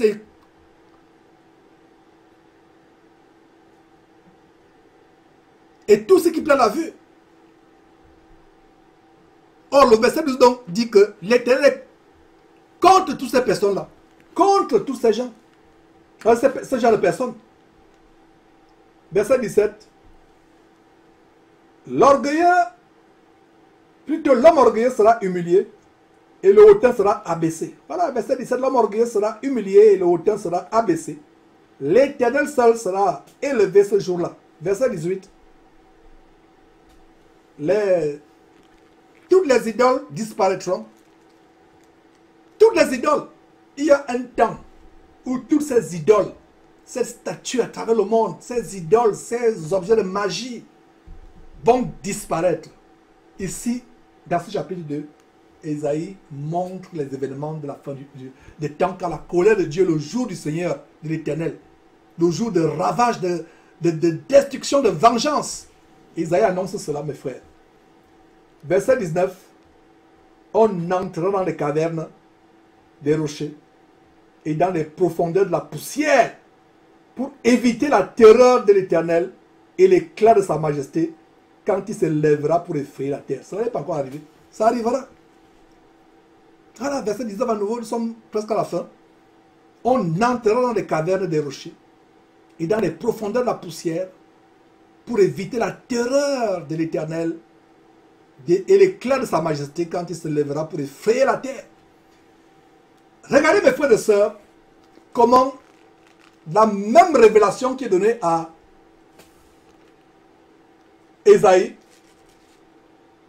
est la même qui est donnée des centaines et des centaines d'années plus tard à Jean en Apocalypse chapitre 6. Si la régie peut nous amener en Apocalypse chapitre 6, pour que vous, vous, vous mettez un doigt, mettez un doigt en Esaïe chapitre 2 verset 19, justement pour lire comment c'est exactement ce que des centaines et des centaines d'années plus tard, Dieu révèle, du moins le Fils de, Dieu révèle à, son serviteur Jean.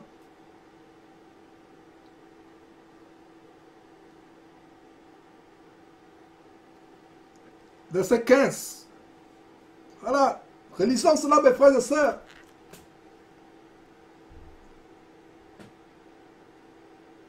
Relisez Exode, euh, chapitre 2, verset, Isaïe chapitre 2, verset 19. Et c'est exactement ce qui est dit. Je ne sais pas si du côté de la régie nous, nous y sommes. Voilà. Donc, Apocalypse chapitre 6, verset 15. Les rois de la terre, les grands, les chefs militaires, les riches, les puissants, tous les esclaves et les hommes libres se cachèrent dans les cavernes et dans les rochers des montagnes. Waouh, mes frères et sœurs. Waouh. Parlez-moi de l'exactitude de la parole. Regardez comment Esaïe lui parle au futur dans Esaïe chapitre 2 verset 19. Et Jean, quand il reçoit la révélation, le disciple de Jésus-Christ, il parle au passé, comme si cela s'était déjà passé. Parce qu'il y a ce qu'on appelle un futur anticipatif ou un passé anticipatif. C'est-à-dire qu'on parle des événements futurs comme ça se passe déjà. C'est le futur anticipatif. Il y a aussi le passé anticipatif, c'est-à-dire que le passé... On utilise le passé pour annoncer, pour anticiper les événements qui vont se passer dans le futur. Donc quand euh, Esaïe reçoit la révélation, exactement ce que je viens de lire, je le lis encore, Apocalypse chapitre 2, verset 15, les rois de la terre, les grands, les chefs militaires, les riches, les puissants, les riches, regardez l'orgueil, on a vu les détails de l'orgueil dans Esaïe chapitre 2, dans Esaïe chapitre 2 du verset 13 euh, à 16, regardez l'orgueil dans les riches et les puissants. Tous les esclaves et les hommes libres se cachaient dans les cavernes et dans les rochers des montagnes. C'est exactement, retournons donc mes frères et sœurs, dans Ésaïe chapitre 2 verset 19. Ésaïe parle de manière prophétique. Et pour ce qui concerne Jean, Jean parle comme si c'était déjà passé. C'est un, c'est un passé anticipatif, c'est-à-dire un passé qui anticipe le futur. C'est des figures de style pour mettre en face. Donc quand Jean parle de ça, c'est comme si ça, on lui montre des choses comme ça s'était déjà passé. On lui montre, c'est comme si un film qu'on lui montre des choses qui se passent. Montre comment les grands et puissants entraient dans les cavernes du ciel. Et voilà, et c'est justement ce qu'Isaïe voit de manière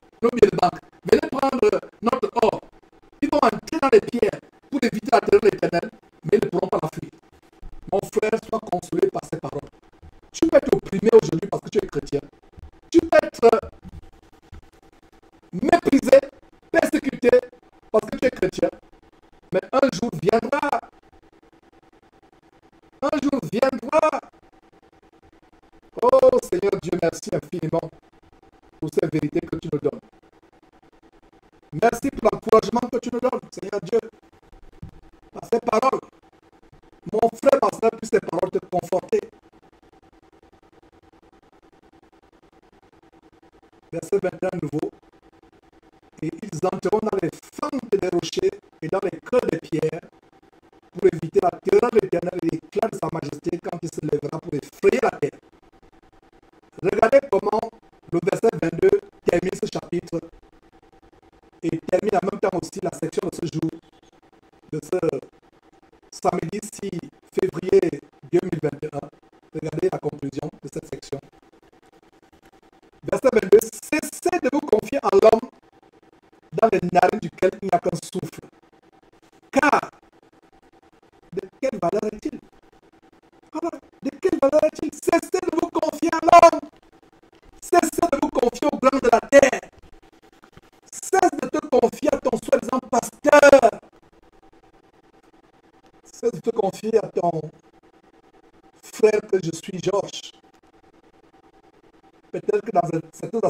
de suis même, tu es même meilleur que moi.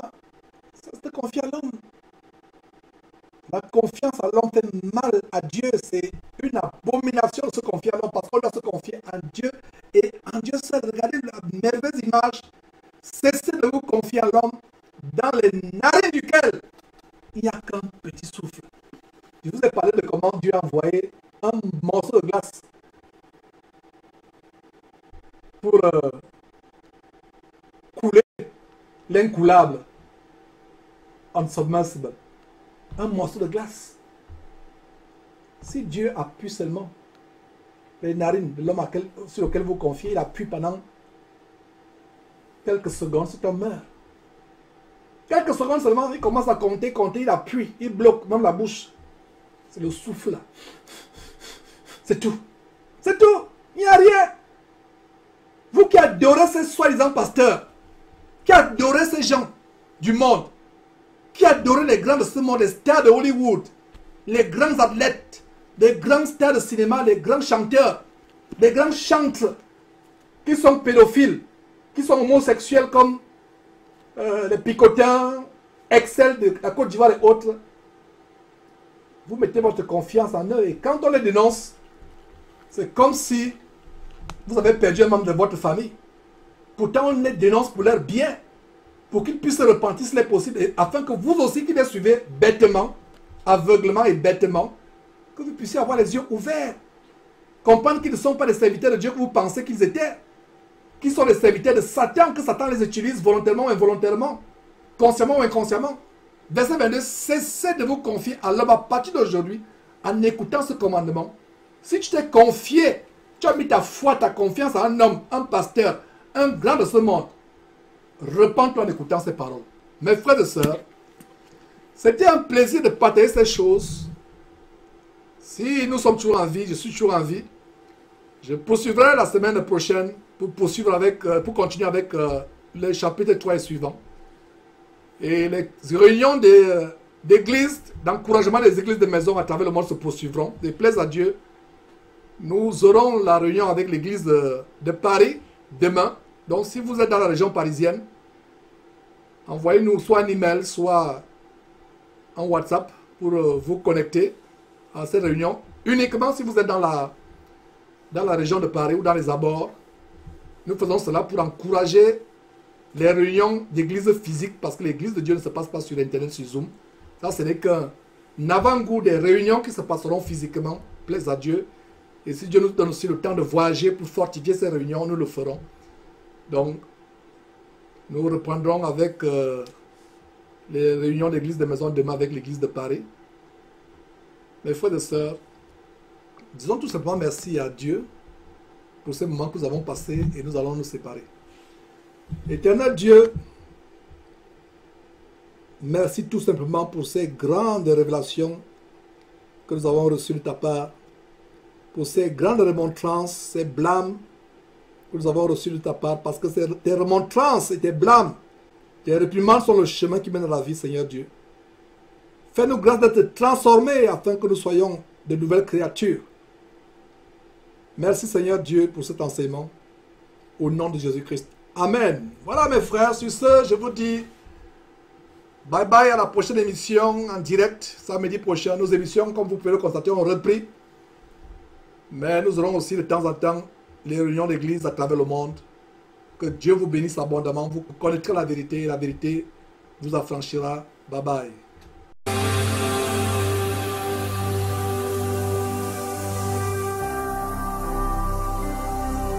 Jésus-Christ TV, vous connaîtrez la vérité et la vérité vous affranchira.